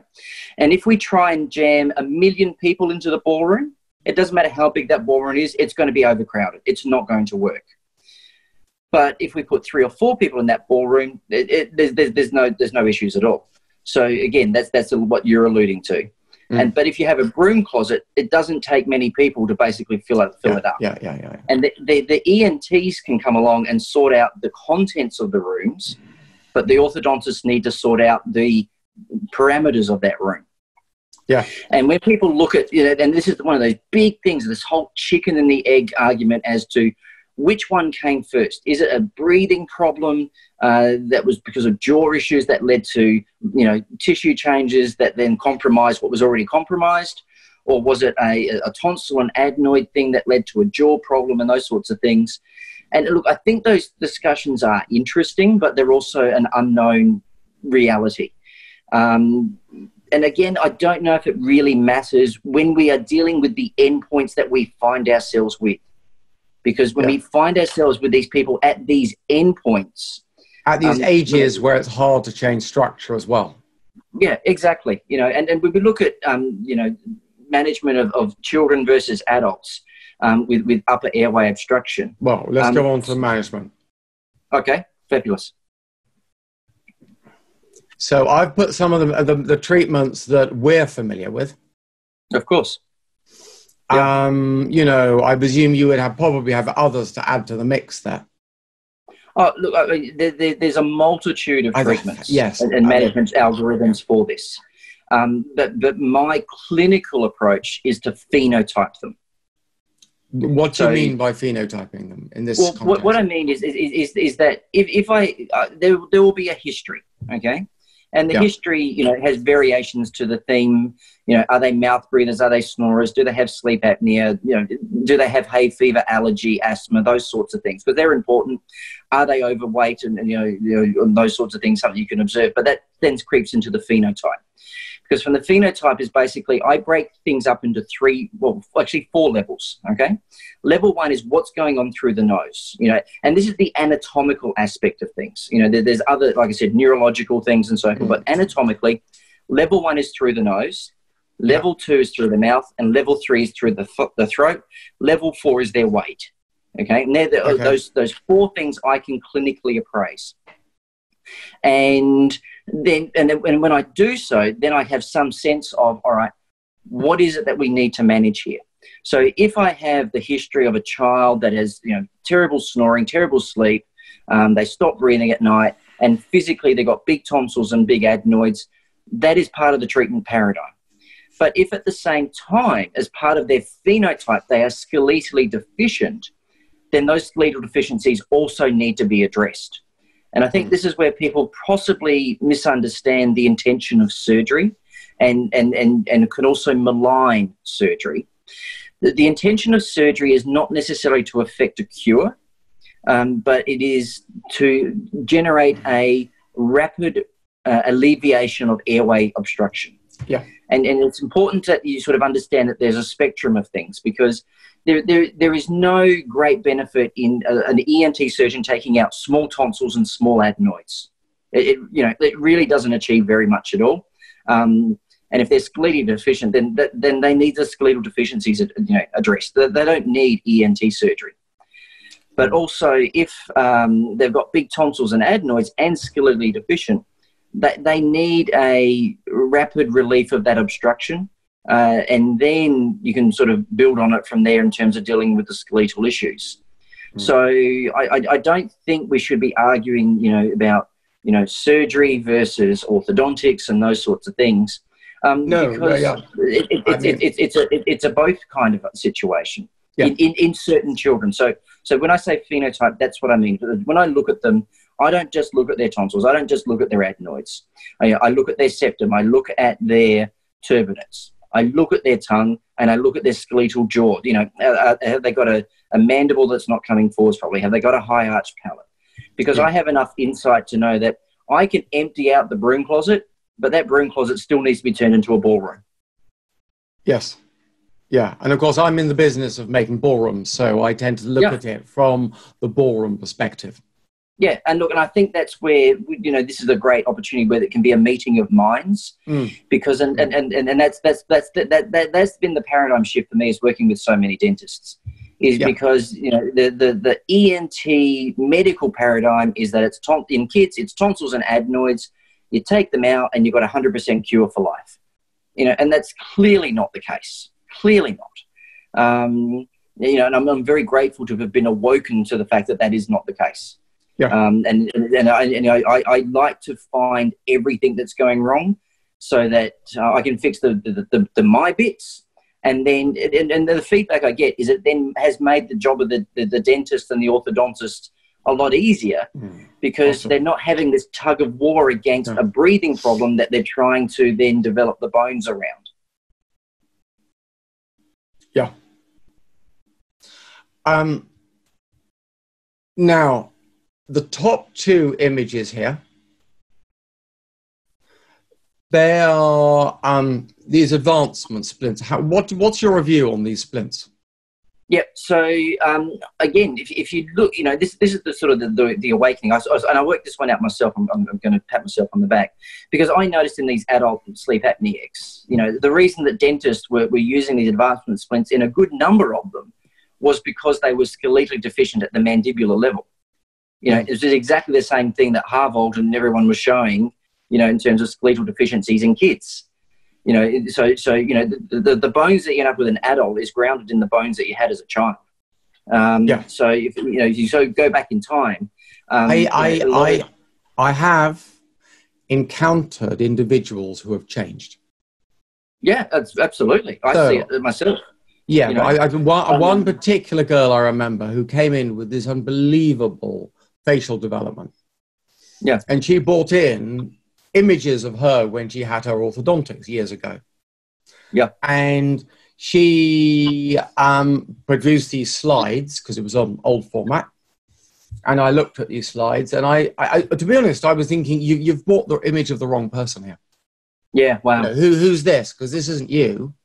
And this Yeah. was a girl, her, her, her- she was a classic class two, so her was down like Yeah. this. And now she had this incredible, and I said, I said to her, what happened? And she was thinking, and she, she goes, oh, well, I got a chewing gum addiction. Yep.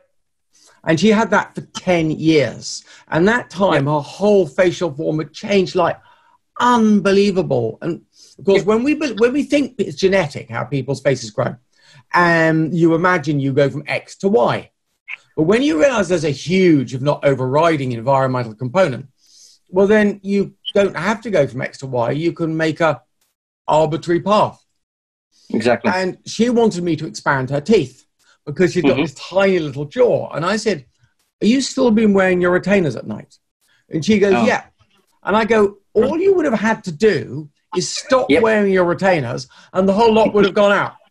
I was going to say That's, that's all you had to do. She was anchoring herself to her status She quo. was holding her dental arches in in this tiny little dental arch with extractions. Yeah. And how Yeah. she'd make, and as I'm, um, I, I, I should have taken copies of her slides because Yeah, that yeah, would have made a would have been fantastic example. But oh, oh, absolutely. where we live. Yeah.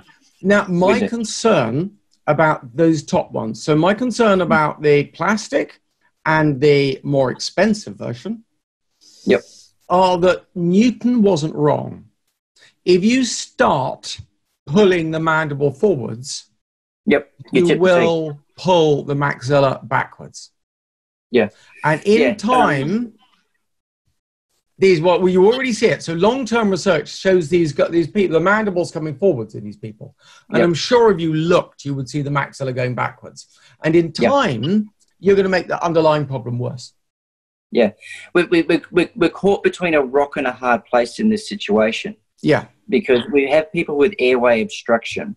And, and as people will harp on, the gold standard is CPAP. That's, that's the mask treatment. Well, when we when we look at ideals versus reality, the the use of CPAP on a consistent basis after a year is only about 35, 40, 45% of people. Hmm. So so it's an excellent treatment that a lot of people just don't bother with. yeah. Now So- I'm going to come so- to CPAP.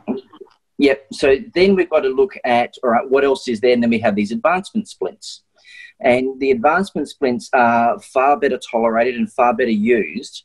And when we look at health outcomes, because you've got to remember, we- you know, I know you're focused on jaw and teeth, but when we look at health Yep. outcomes in terms of the effective of sleep ap- obstructive sleep apnea and what the treatments mitigate against, CPAP actually doesn't, on a population level, uh, maybe at an individual level, but on a population level, doesn't actually mitigate against me the complications of sleep apnea very well. And mandibular advancement splints actually do, um, actually a lot better. And it's just by virtue of numbers because more people stick with them. It's not that it's a better treatment, it's that it's a more accepted and utilized treatment at a population level.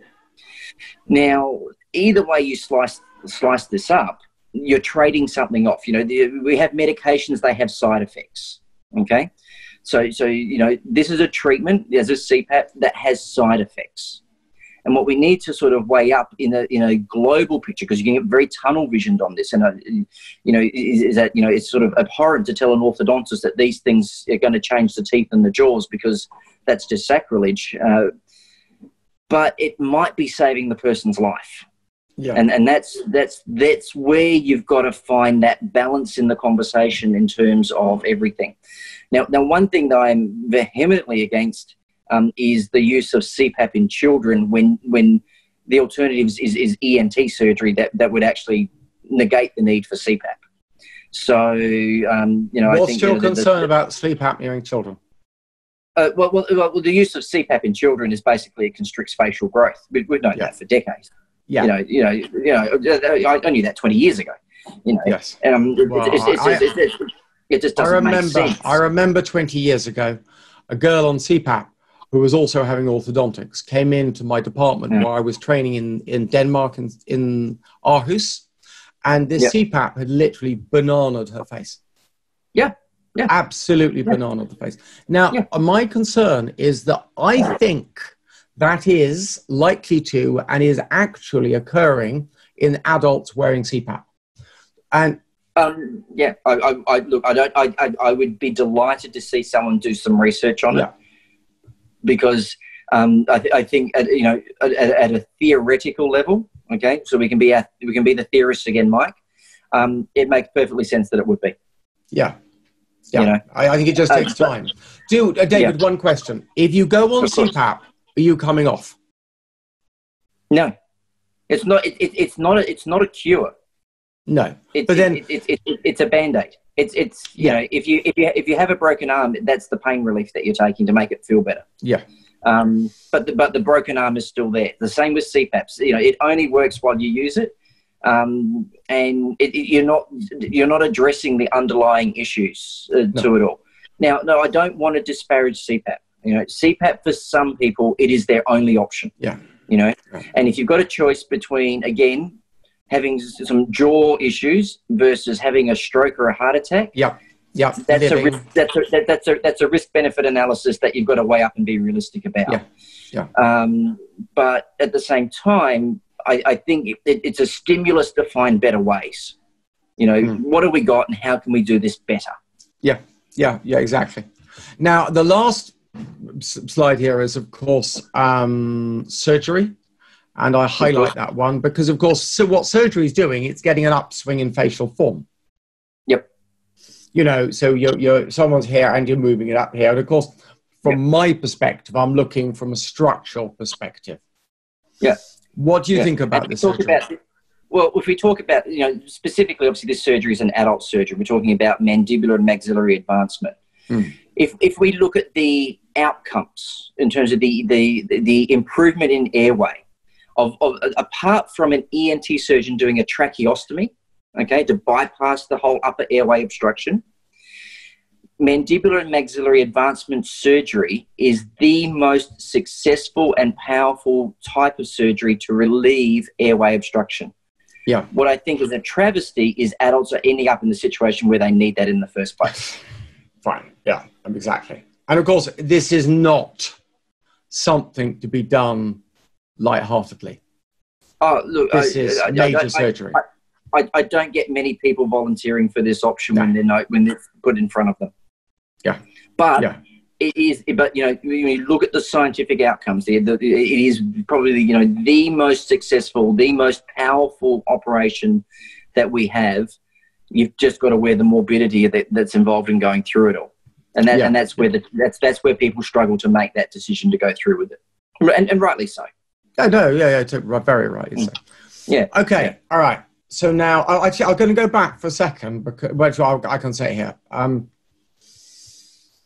so, um, I, the comment you made, I can concur with. When I trained, so I finished my dental training in '93, mm-hmm. and the, I heard the word sleep apnea once, and that yep. was nocturnal paroxysmal um, sleep apnea. And this was yep. people who had right side heart failure. So that's yes. the, the, heart was not empty, well, was no, I think I think it was. Do you, do you want me to anyway, explain that medically? you you could explain that medically for me better right. than I can remember. All right. All right. So so what happens basically is that when you have a breathing problem, um, that impacts impairs um, the the uh, basically the blood flow through the lungs. And one of the consequences of that, in a roundabout way, is when you start to lose oxygen in the lungs, the blood vessels within the lungs start to constrict. Okay? When the blood vessels start to constrict, those that blood pressure goes up. Now it's the right side of the heart that pumps blood into the lungs. So if the right side of the heart is pumping against an increased resistance, then the right side of the heart has a tipping point where it starts to fail. Um, you know, and, and the heart's a remarkable muscle. You know, it's it's it's the it's the one muscle that keeps going on and on and on. If you those people that go to the gym and you know they lift their weights, you get to a certain point you just can't lift that same weight anymore. It just you know it hasn't become heavier, but it's become you know to the point of your fatigue. It's the same with the heart. When the heart is pumping against the resistance, it has a certain amount of, of, of, of take before it hits a tipping point where it starts to fail. So that's what the, the, the right heart failure. For, for those that are the, the Latin and medically minded, um, it, it's called cor pulmonale. It means right heart failure due to blood pressure elevation within the blood vessels of the lung. And so, anyway, thank you very much. And I remember we were we were explained how these people would be propped up in bed They are. because the higher you raise their um, chest up, the more it would tend to drain. And I remember that element in my dental training. Apart from that, we never heard the word. It was not in the syllabus. It was not related to any patient. Never heard it. And that I finished in 93. Now, in that space of time till now, there has been this wow increase in sleep apnea. Yep. Yeah. Yeah. We're- Has we're it just been, it- it- it- it's 25 to 40% of the, the world population. Hmm. Well, as I said, so in this slide I say here, I went to give a lecture in Philadelphia a couple of years ago, and I said that I thought 10% of people over 60 will die a decade earlier from sleep apnea and its consequences. Yeah. And when I was asking people after a, after the lecture whether I thought that this was an over or underestimation, every single one of them went, Mike, you're being a little conservative here. I was going to say, I think you underplayed it. I underplayed that. Yeah. Now, so my problem is, all right, ah, you know, go back there. My problem is that this group of people here, all right, Yep. they were Spandau Ballet, if you remember that group. I do. Now, the thing is that they are now 60. Now, I guess they're a pop band that would like to be better facial form and probably like more likely to be slim than your other average person. Yeah. Yep. So that they're biased. It's a biased group I've taken here. Of course. Yeah. However, I do this as an illustration. So if you look, just pick up your, go onto Google, go into 1980s, start Googling beach, start Googling um, image, put it on the image section. Mhm. People were a lot thinner back then. People, I, I, I, I, I, yeah, I agree. and people, I think also people tended to have better facial form.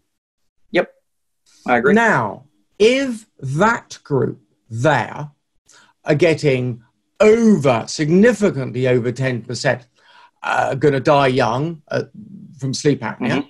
a decade, what's going to happen to the population growing up now? Uh, I, I think we, we already know. I think that the statistics are in that if you look at life expectancy, this is the first generation that has a lower life expectancy than previous generations. Yeah. For the first time in history. And we, we're going to plot that as an increase, increasing over the next couple of decades. I have absolutely no doubt that we have sown the seeds of some demise. Absolutely already. Yeah.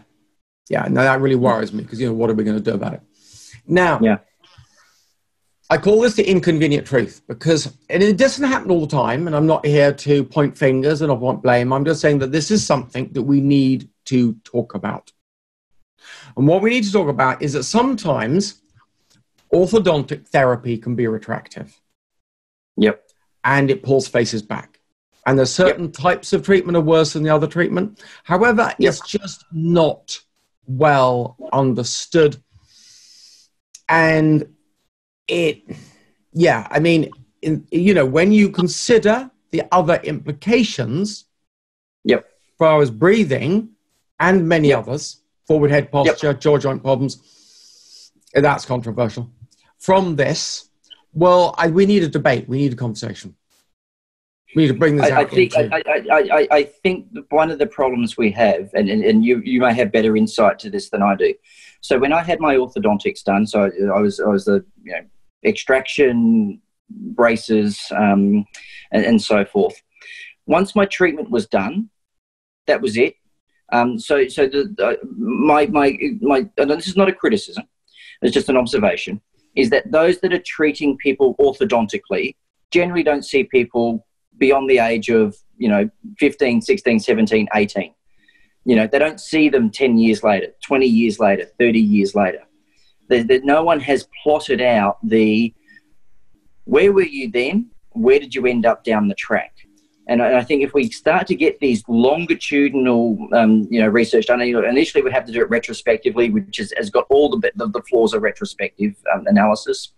But if we can start to do some prospective analysis, and, and, look at the different types of orthodontic treatments that were done extraction versus non-extraction retraction versus non you know retraction you know all those variables and and look at a bigger outcome with respect to how did these people end up in their 30s and their 40s and 50s, which mm. is not what which is not what orthodontists do. You know, and it's yeah. not a criticism. You know, it, you know, there would be no reason for them to think that they would have to do it. But it, you know, is there perchance a unrecognized lifelong health consequence of certain treatments done at an earlier age that we've missed? And yeah. if we've missed it, we better we better find out sooner rather than later. Yeah, and I think that you know because the airway issue, the airway yeah. knowledge of airway issues has become quite big. It's it's still a little bit fringe in the world well, of orthodontics, but it's well, well, becoming I, I, a bigger I, subject yeah, I, I, I, think that there's been an increased awareness of the fact that airway is kind of important, which is kind of ironic. Mm. Um, you know, and that sleep is, is, a significantly underappreciated element of health. Yeah. So, so, so you know, we, we are turning that ship around, but we, we really, you know, we, we yeah, it's not just that, it's not just at a healthcare level that we need to do it. You know, we need to change at the population level, but it's not going to change the population level until healthcare people actually realise just the relevance of this. Yeah, um, yeah. And, and it's been a huge, massive paradigm shift and re-education of, of, of, of awareness so that we have a collaborative, uh, you know, movement of being proactive yeah, we also need and get them into treatment. We also need inclusive debate because I mean, I was was, was I was slightly disheartened because the American Orthodontic Association decided to organize a conference on this issue, and they had a Marco Island conference, and it was a pack out. It was packed out, and yet they never asked the very people I feel they should have asked to be involved with it. In fact, it was hmm. almost as if the very people they should have asked were excluded and um, I think that I, it was I, reflected I, in the conclusions. Yeah, um, I, think you know pe- people have a preconceived idea of what people's you know thoughts and agendas are. And you know, I'm probably one of those examples where you know people you know. You know, th- have surmised, you know, certain things, you know, as to what I sort of think, say, and do, but but they've never actually sat down to understand what I think, say, or do, or understand, yeah. you know, the perspectives or the paradigms yeah. to it all. And yeah. I, I, think I think one of the possible sticking points in orthodontics is, is this whole argument and debate of, of, whether airway problems cause orthodontic problems. Um, you know, and it'd be a you know really you know big shake up if you know someone you know was to say that that's the case. But hmm. you know, my, my point, and you've already you've already recognised this yourself because you've walked into an ENT clinic and been there you know for two weeks. From my point of view, if a child cannot breathe properly, the cardiovascular effects, the effects on the brain, are, are, are you know, they're, they're, beyond dispute. You know, the, the, the, science is beyond dispute. So, if, you know, the question is, does an airway problem cause an orthodontic problem? My, my honest answer, if you want to sort of avoid all debate, is basically say, who cares? Who really cares? Because that heart is a problem, that brain is a problem, and if by some, you know, you know, circumstance by fixing the airway, it also has a beneficial impact with regards to then, you know, jaw teeth development, orthodontics. Well, hey, look, throw that on the bonus pile if you want to diffuse these arguments. But because there's this sticking point that airway problems don't cause orthodontic problems, therefore airway problem is not a problem. That that's that's where it falls down in the logic, you know, and that yeah. that's my real concern is that is, is that you know people I think are still trying to have the argument over does an airway problem cause an orthodontic problem? My point is who cares? It causes brain damage. You know, yeah. why are we arguing why are we arguing over the relevance of an airway problem in the context of orthodontics when an airway problem causes brain damage? Yeah, I, I we, we, mm. we need to philosophize and work out what's going on there. I agree. I, I, I, I, would love. To, I want to get to the bottom of that element, but I just want to yeah. highlight from a healthcare point of view, brain damage versus arguing over straight or crooked teeth. Yeah. Um, yeah. Yeah. It, yeah. it's it, yeah, it, it's, it, it, it, it's it's it's not a good starting point for a discussion. No, no, um, no you know, no, you need to bring it back to airway problem, yeah. bad. Yes, but there's clearly a relationship. Let's find out what's going on. Mike, you, you know, I, I, get so many referrals from dentists, um, and and you know, and you know, I had a dentist uh, a week ago, you know, saying that she, you know, and she's a general dentist. She's she got on board with the airway things. Sends me the stuff. I fix it. And she says, you know, when these kids come back, their jaws are starting to grow better. Like they're expanding out. You know, going back to Linder-Aronson. Yep, yep. You know, and, and look, that won't happen in every kid, and I don't expect it. I don't promise it, but hey, who's why would anyone be upset if that was a side effect of, of, of treatment of an airway problem by an ENT? You yeah. know, why would that be so upsetting to people? Yes. To think yeah. that, the, that, that the jaw growth and development would be better in some individuals just by chance, not by design. Forget about you know arguing over whether we should be doing this to help jaw and teeth. It's just a it's just a you know coincidental byproduct of helping a child breathe better, their jaw and teeth grow better. Yeah. Why does that upset people? Yeah, yeah. Um, okay, so the the next thing is what what we're trying to do about these things. Now, here is an individual who um, I. Um, it was about we had about three years of treatment, and then his warmness appliance for been it's a decade roughly. So he wore the appliance for seven years at night only we worked on him for about three years. Yep. Now, what we've done is we've we've gained that we've gained quite a shit. Now he's holding his head in a different position. Now, yeah, this is him standing there looking into a mirror. So his eyes are mm-hmm. focused into a mirror. We've yep. taken the photographs from about three and a half meters away without yep. a flash using a zoom lens. We're trying to be as high level as we possibly can, taking yep. the records. Consistency. Yep. Consistency. So now, eh, because his head posture's changed, you've got to ask yourself, well, yep. has his um, what's actually gone on? So um, we're not. I mean, I don't like KEFs. You know, these X-rays they you take from the side of the head that we we showed an image earlier on. Now, they, I think that is a slight fallacy to imagine their stable structures there. And I'll explain why in a second. And also in the UK, you can't take these at the end of treatment to check what you've done because the, the, the, the idea is well okay how how's that helping the patient so yeah. you know it helps you you think about but it's not helping the patient so you can't yeah. take them without a need so what yeah. i've done is i've been trying playing around with what i call a medical facial overlay so if you mm-hmm. see how I have laid that out, so I've got the tragus of the ear. So here's the tragus of the ear, you know there. Yep. And we've yeah, gone on yep. soft tissue nasion. So these were more or less the spots you'd be using. Yep. And as you can see, the eye and the tragus and the ear stays the same.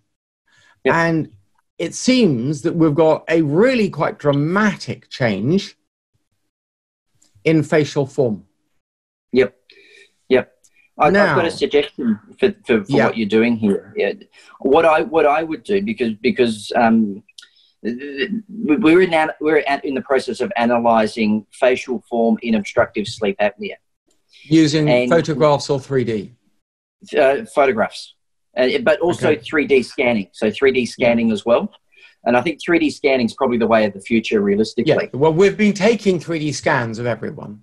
Not okay, as far perfect. back as him. Not as far back as him. Of course, yeah. we're and, now and what, yeah. Yeah, what's been suggested is to take out any human bias, is forget about the normal anatomical landmarks that we use as reference points. Because when we use those, then we're arbitrarily assigning importance to those landmarks. What's been suggested is to have the, the, the data compiled and then give it to a, a, a computer and let it do the computations. Let it find out by itself, without any human bias, what are the changes, what are the differences that are relevant to the outcomes. Um, and that's actually probably the, you know, again, just, you know, where we need to go to that next level because we can talk about, well, you know, this point and that point, but by doing that, we've introduced a human bias because we've assigned arbitrarily importance to, to that reference point. Mm. So that, that's just as an aside, but no. I, am finding this very interesting. Sorry, sorry to interrupt no. you. Please. That's okay. I would love to investigate that more because that's this is so important to understand what we're doing. Yeah. So now I arbitrarily let me move this um, thingy out the way up here. So now the, I've just approximated an airway mm-hmm. on this yep. individual. Yep. But I would approximate the fact that there is a lot more space for his airway. And this is only in one dimension because it will have happened laterally as well. Yeah. It will have happened sideways yeah. as well.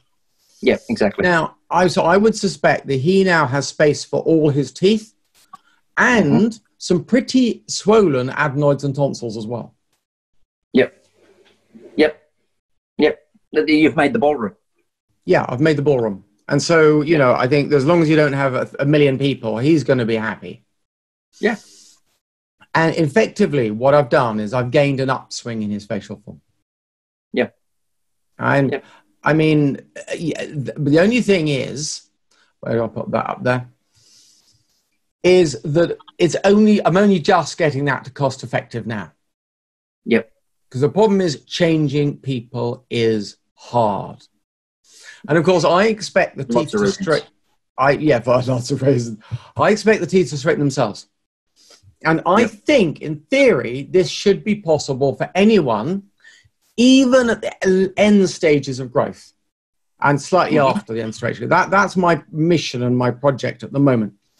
Okay. But I don't think that I'm really going to get this very well, very good effects until I get the spotlight of modern research to shine on this.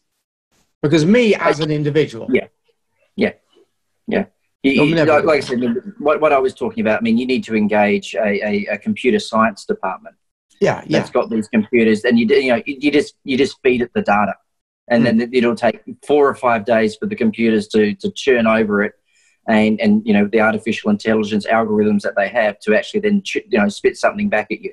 Yeah, um, but, I do, but also yeah. you know getting you know, this is a huge subject. I would need departments yeah. and more departments in a number of different fields to focus yeah. on this to, to make headway, really. Yeah, of course.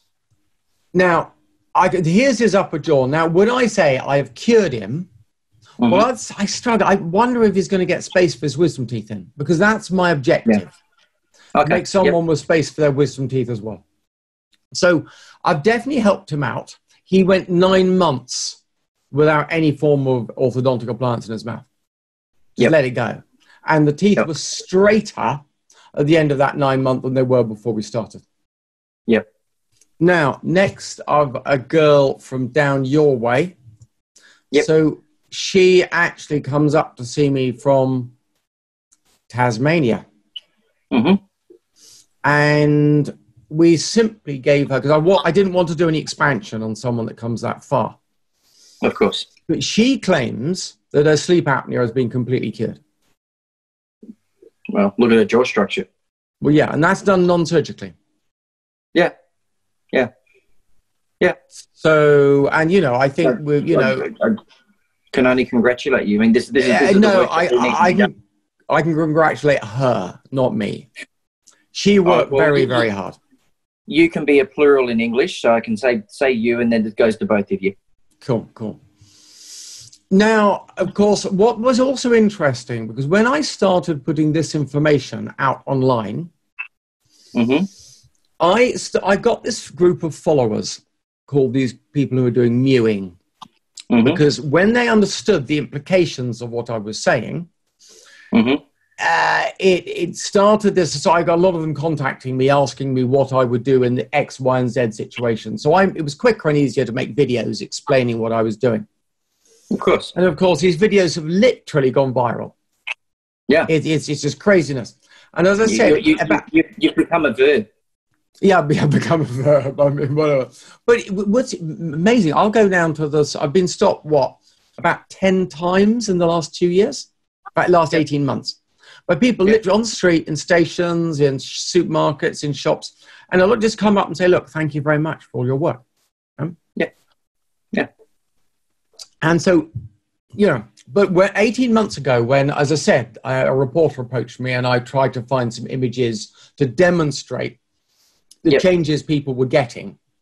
Yep. And we were really struggling. In fact, I found what was interesting. This guy here, who calls himself Astro Sky Online, he showed me an old photograph of where yep. he had been, and then this photograph here, this one on the left. Yep. yep. And you could see change. I could tell a change, but it wasn't clear and obvious. And the photograph was a bit dark because it, to find a lateral photograph, he'd had to find a photograph from some in the background, yeah. someone else's photograph. Yeah, yeah, yeah. Anyway, angles and all sorts so of things. Yeah. This photograph was 18 months ago. Mm. And now, and he was using this photograph as the finished photograph. However, now from there to there, you, you, you know, there's no questioning that he's gained huge facial change. Yep. And he's done that. I've never met him. Yep. Um, I mean, and also, whereas when I asked for this photograph 18 months ago, he was a one of an exception.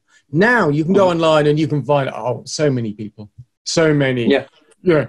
Yeah. All putting for images. He's probably one of the best, but I've seen a lot of sort of photographs in that ball range. Yeah. And of course, yeah. we then ask the question, the health or appearance question.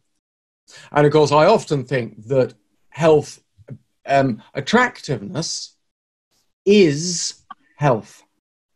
When someone says, you know, we're, you know, someone says to me, "Oh, Mike, you're looking healthy," what do they really mean? They mean you're looking good. You're looking good. Yeah. yeah.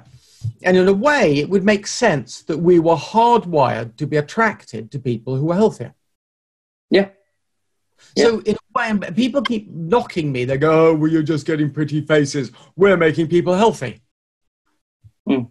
You know. Well, I mean, health, health. I mean, obviously, you know, we, we know that there's a huge industry that's out there called the cosmetics industry, and that's you know within healthcare, but also you know beauty, makeup, the hair, hair all these sorts of things.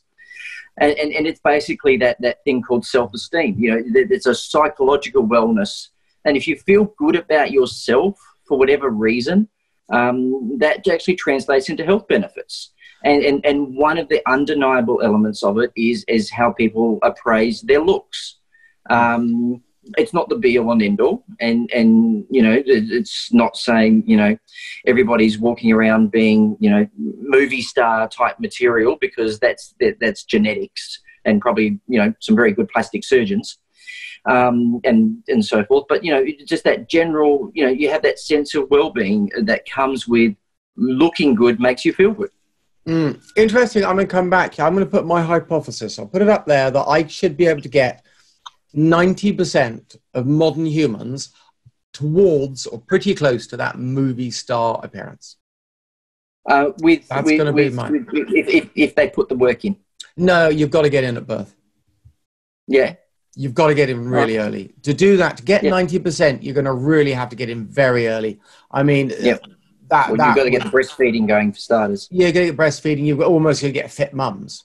It's selecting yeah. the right diet. If you want to get that level, you've got to go. You know, that's a holistic. You know, teachers telling kids to sit up straight.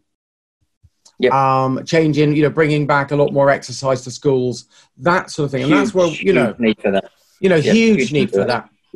that. Um, but um, there's a point I would never mind if never we go.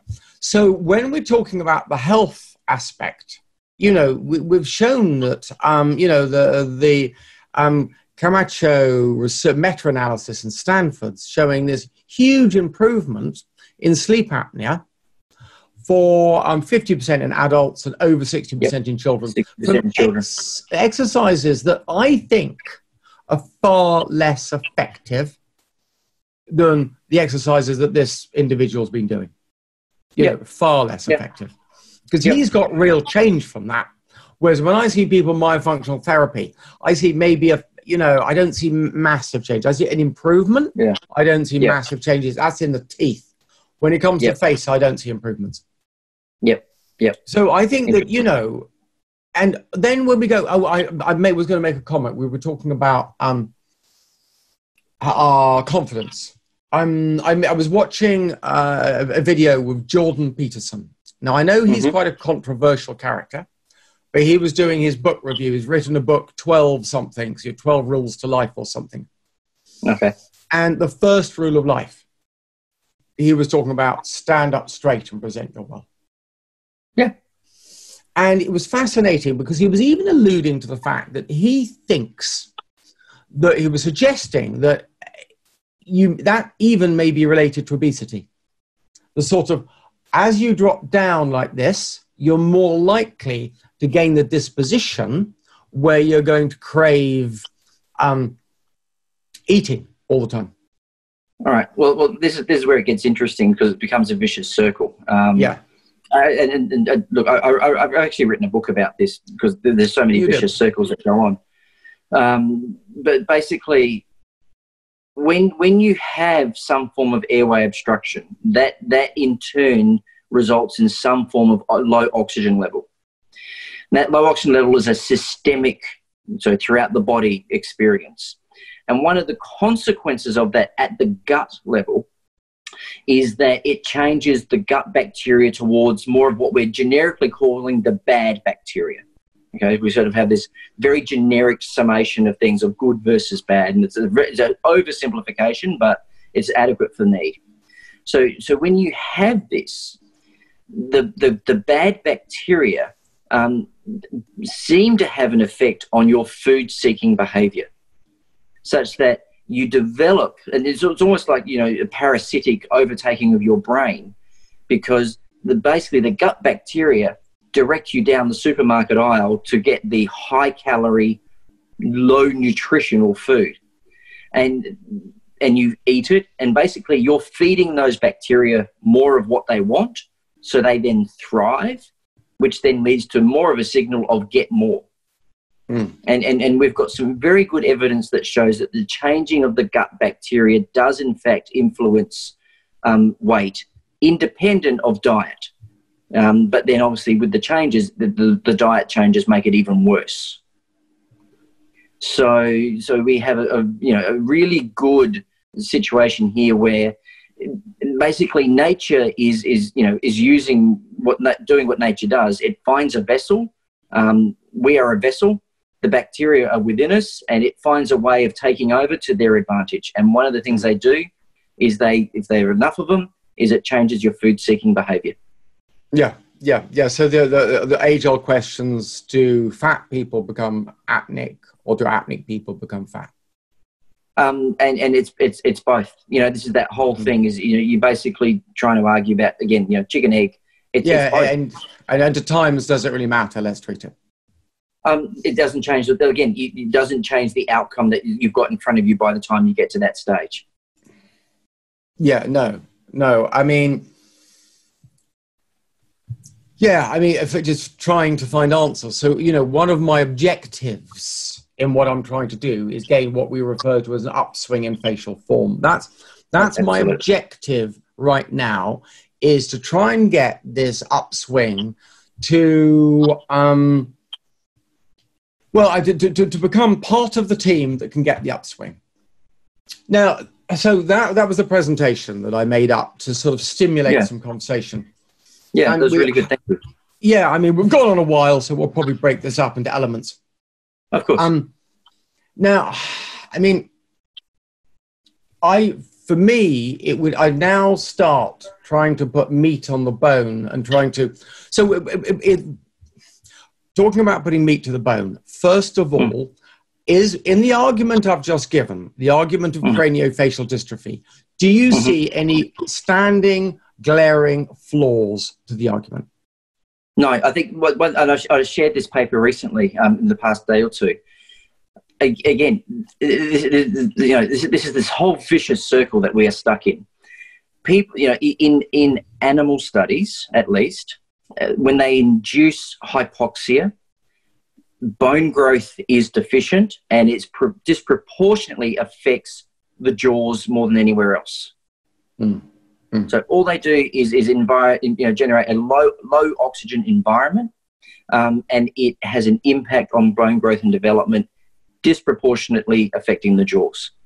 Mm. So, so I, I, I, think we are dealing with you know the perfect storm here. Uh, I think in terms of, of, terms of what happens.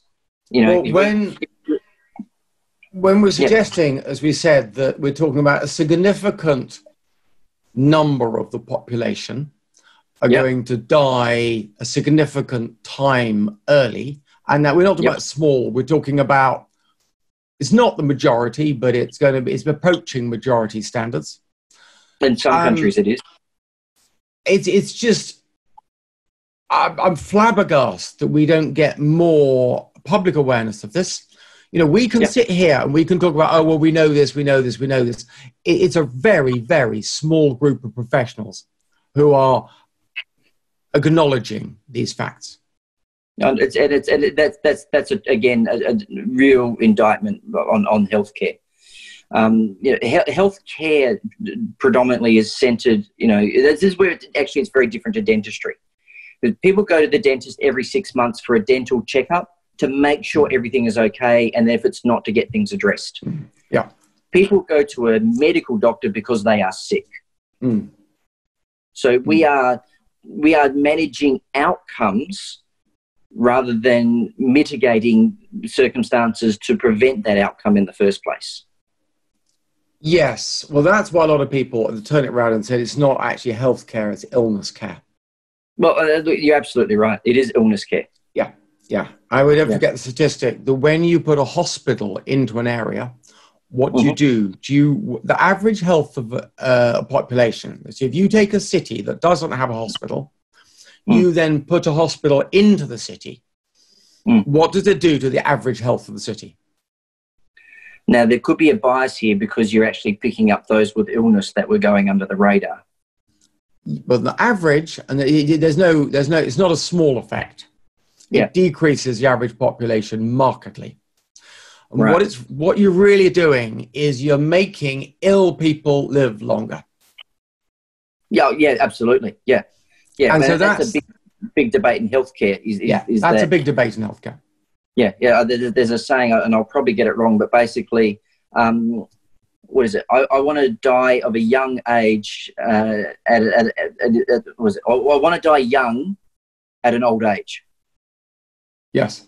Yes, exactly. So you basically, you know, you want to compress your wellness into, you know, yeah. as many yeah. years as yeah. you can, and, and, and your illness into as, as, as few as possible. Yeah. Okay. Cool.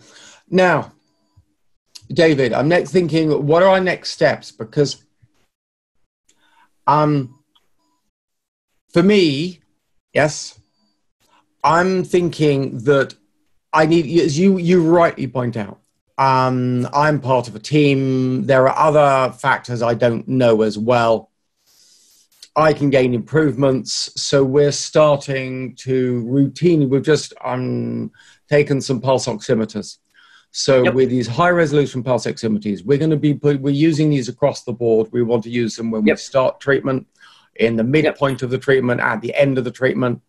We've got the 3D scanner, so we're scanning everyone's face at the same intervals and we are taking these uh, the highest level photographs that we can at the highest level. Yeah, and that's with the, that's with a three D camera. We do, uh, the, we've got or a 3D scanner. I've got a 3D scanner. I've got a poor man's 3D scanner, so I've got what's called yeah. a David scanner because that's all I can afford. I'm trying to chase yeah. down a. You can get 3D cameras. Oh, I, I, know the market now. I tell you, I've I've researched yeah. it. I want the 3D MD because it's the best high resolution. All of the other 3D cameras lose resolution really quite quickly. Yeah. Well, maybe after 3D MD, the next step down is fairly major. And the David scanner I've got at the moment, it the problem with the David scanner is you have to lie still, mm. and it takes about 10 seconds to take an image, and it takes a fairly narrow one, and you have to move around and take another yeah, right. one, and, yeah. and, we have to take about six to get a face in, and then yeah. stitch them all together. Yeah. However, we've been doing that for about three years now. We still lack the software to compare them. And it's just this, oh. all of this stuff is massively expensive. Can I, can, I, can, can I help you? Uh, well, I'll come back to you, but then I think we'll have a non-recorded conversation for that. But I would love to okay. um, chat that. Okay. Yeah.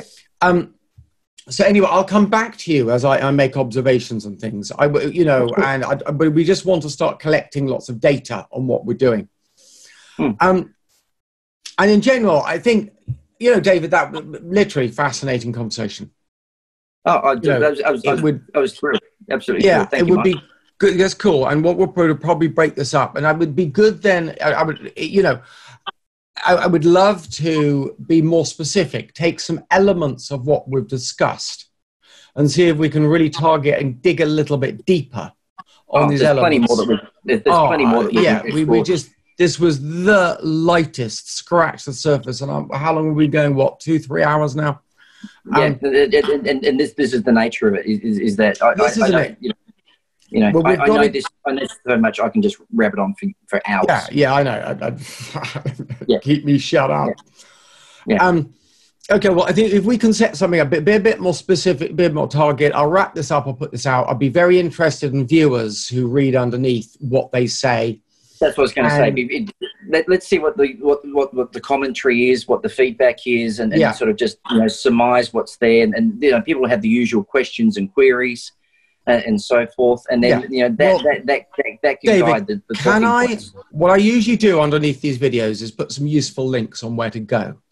Now, course. um, could we have um, a? Um, you've got uh, some great um, Facebook pages where you are just run the Facebook down. pages.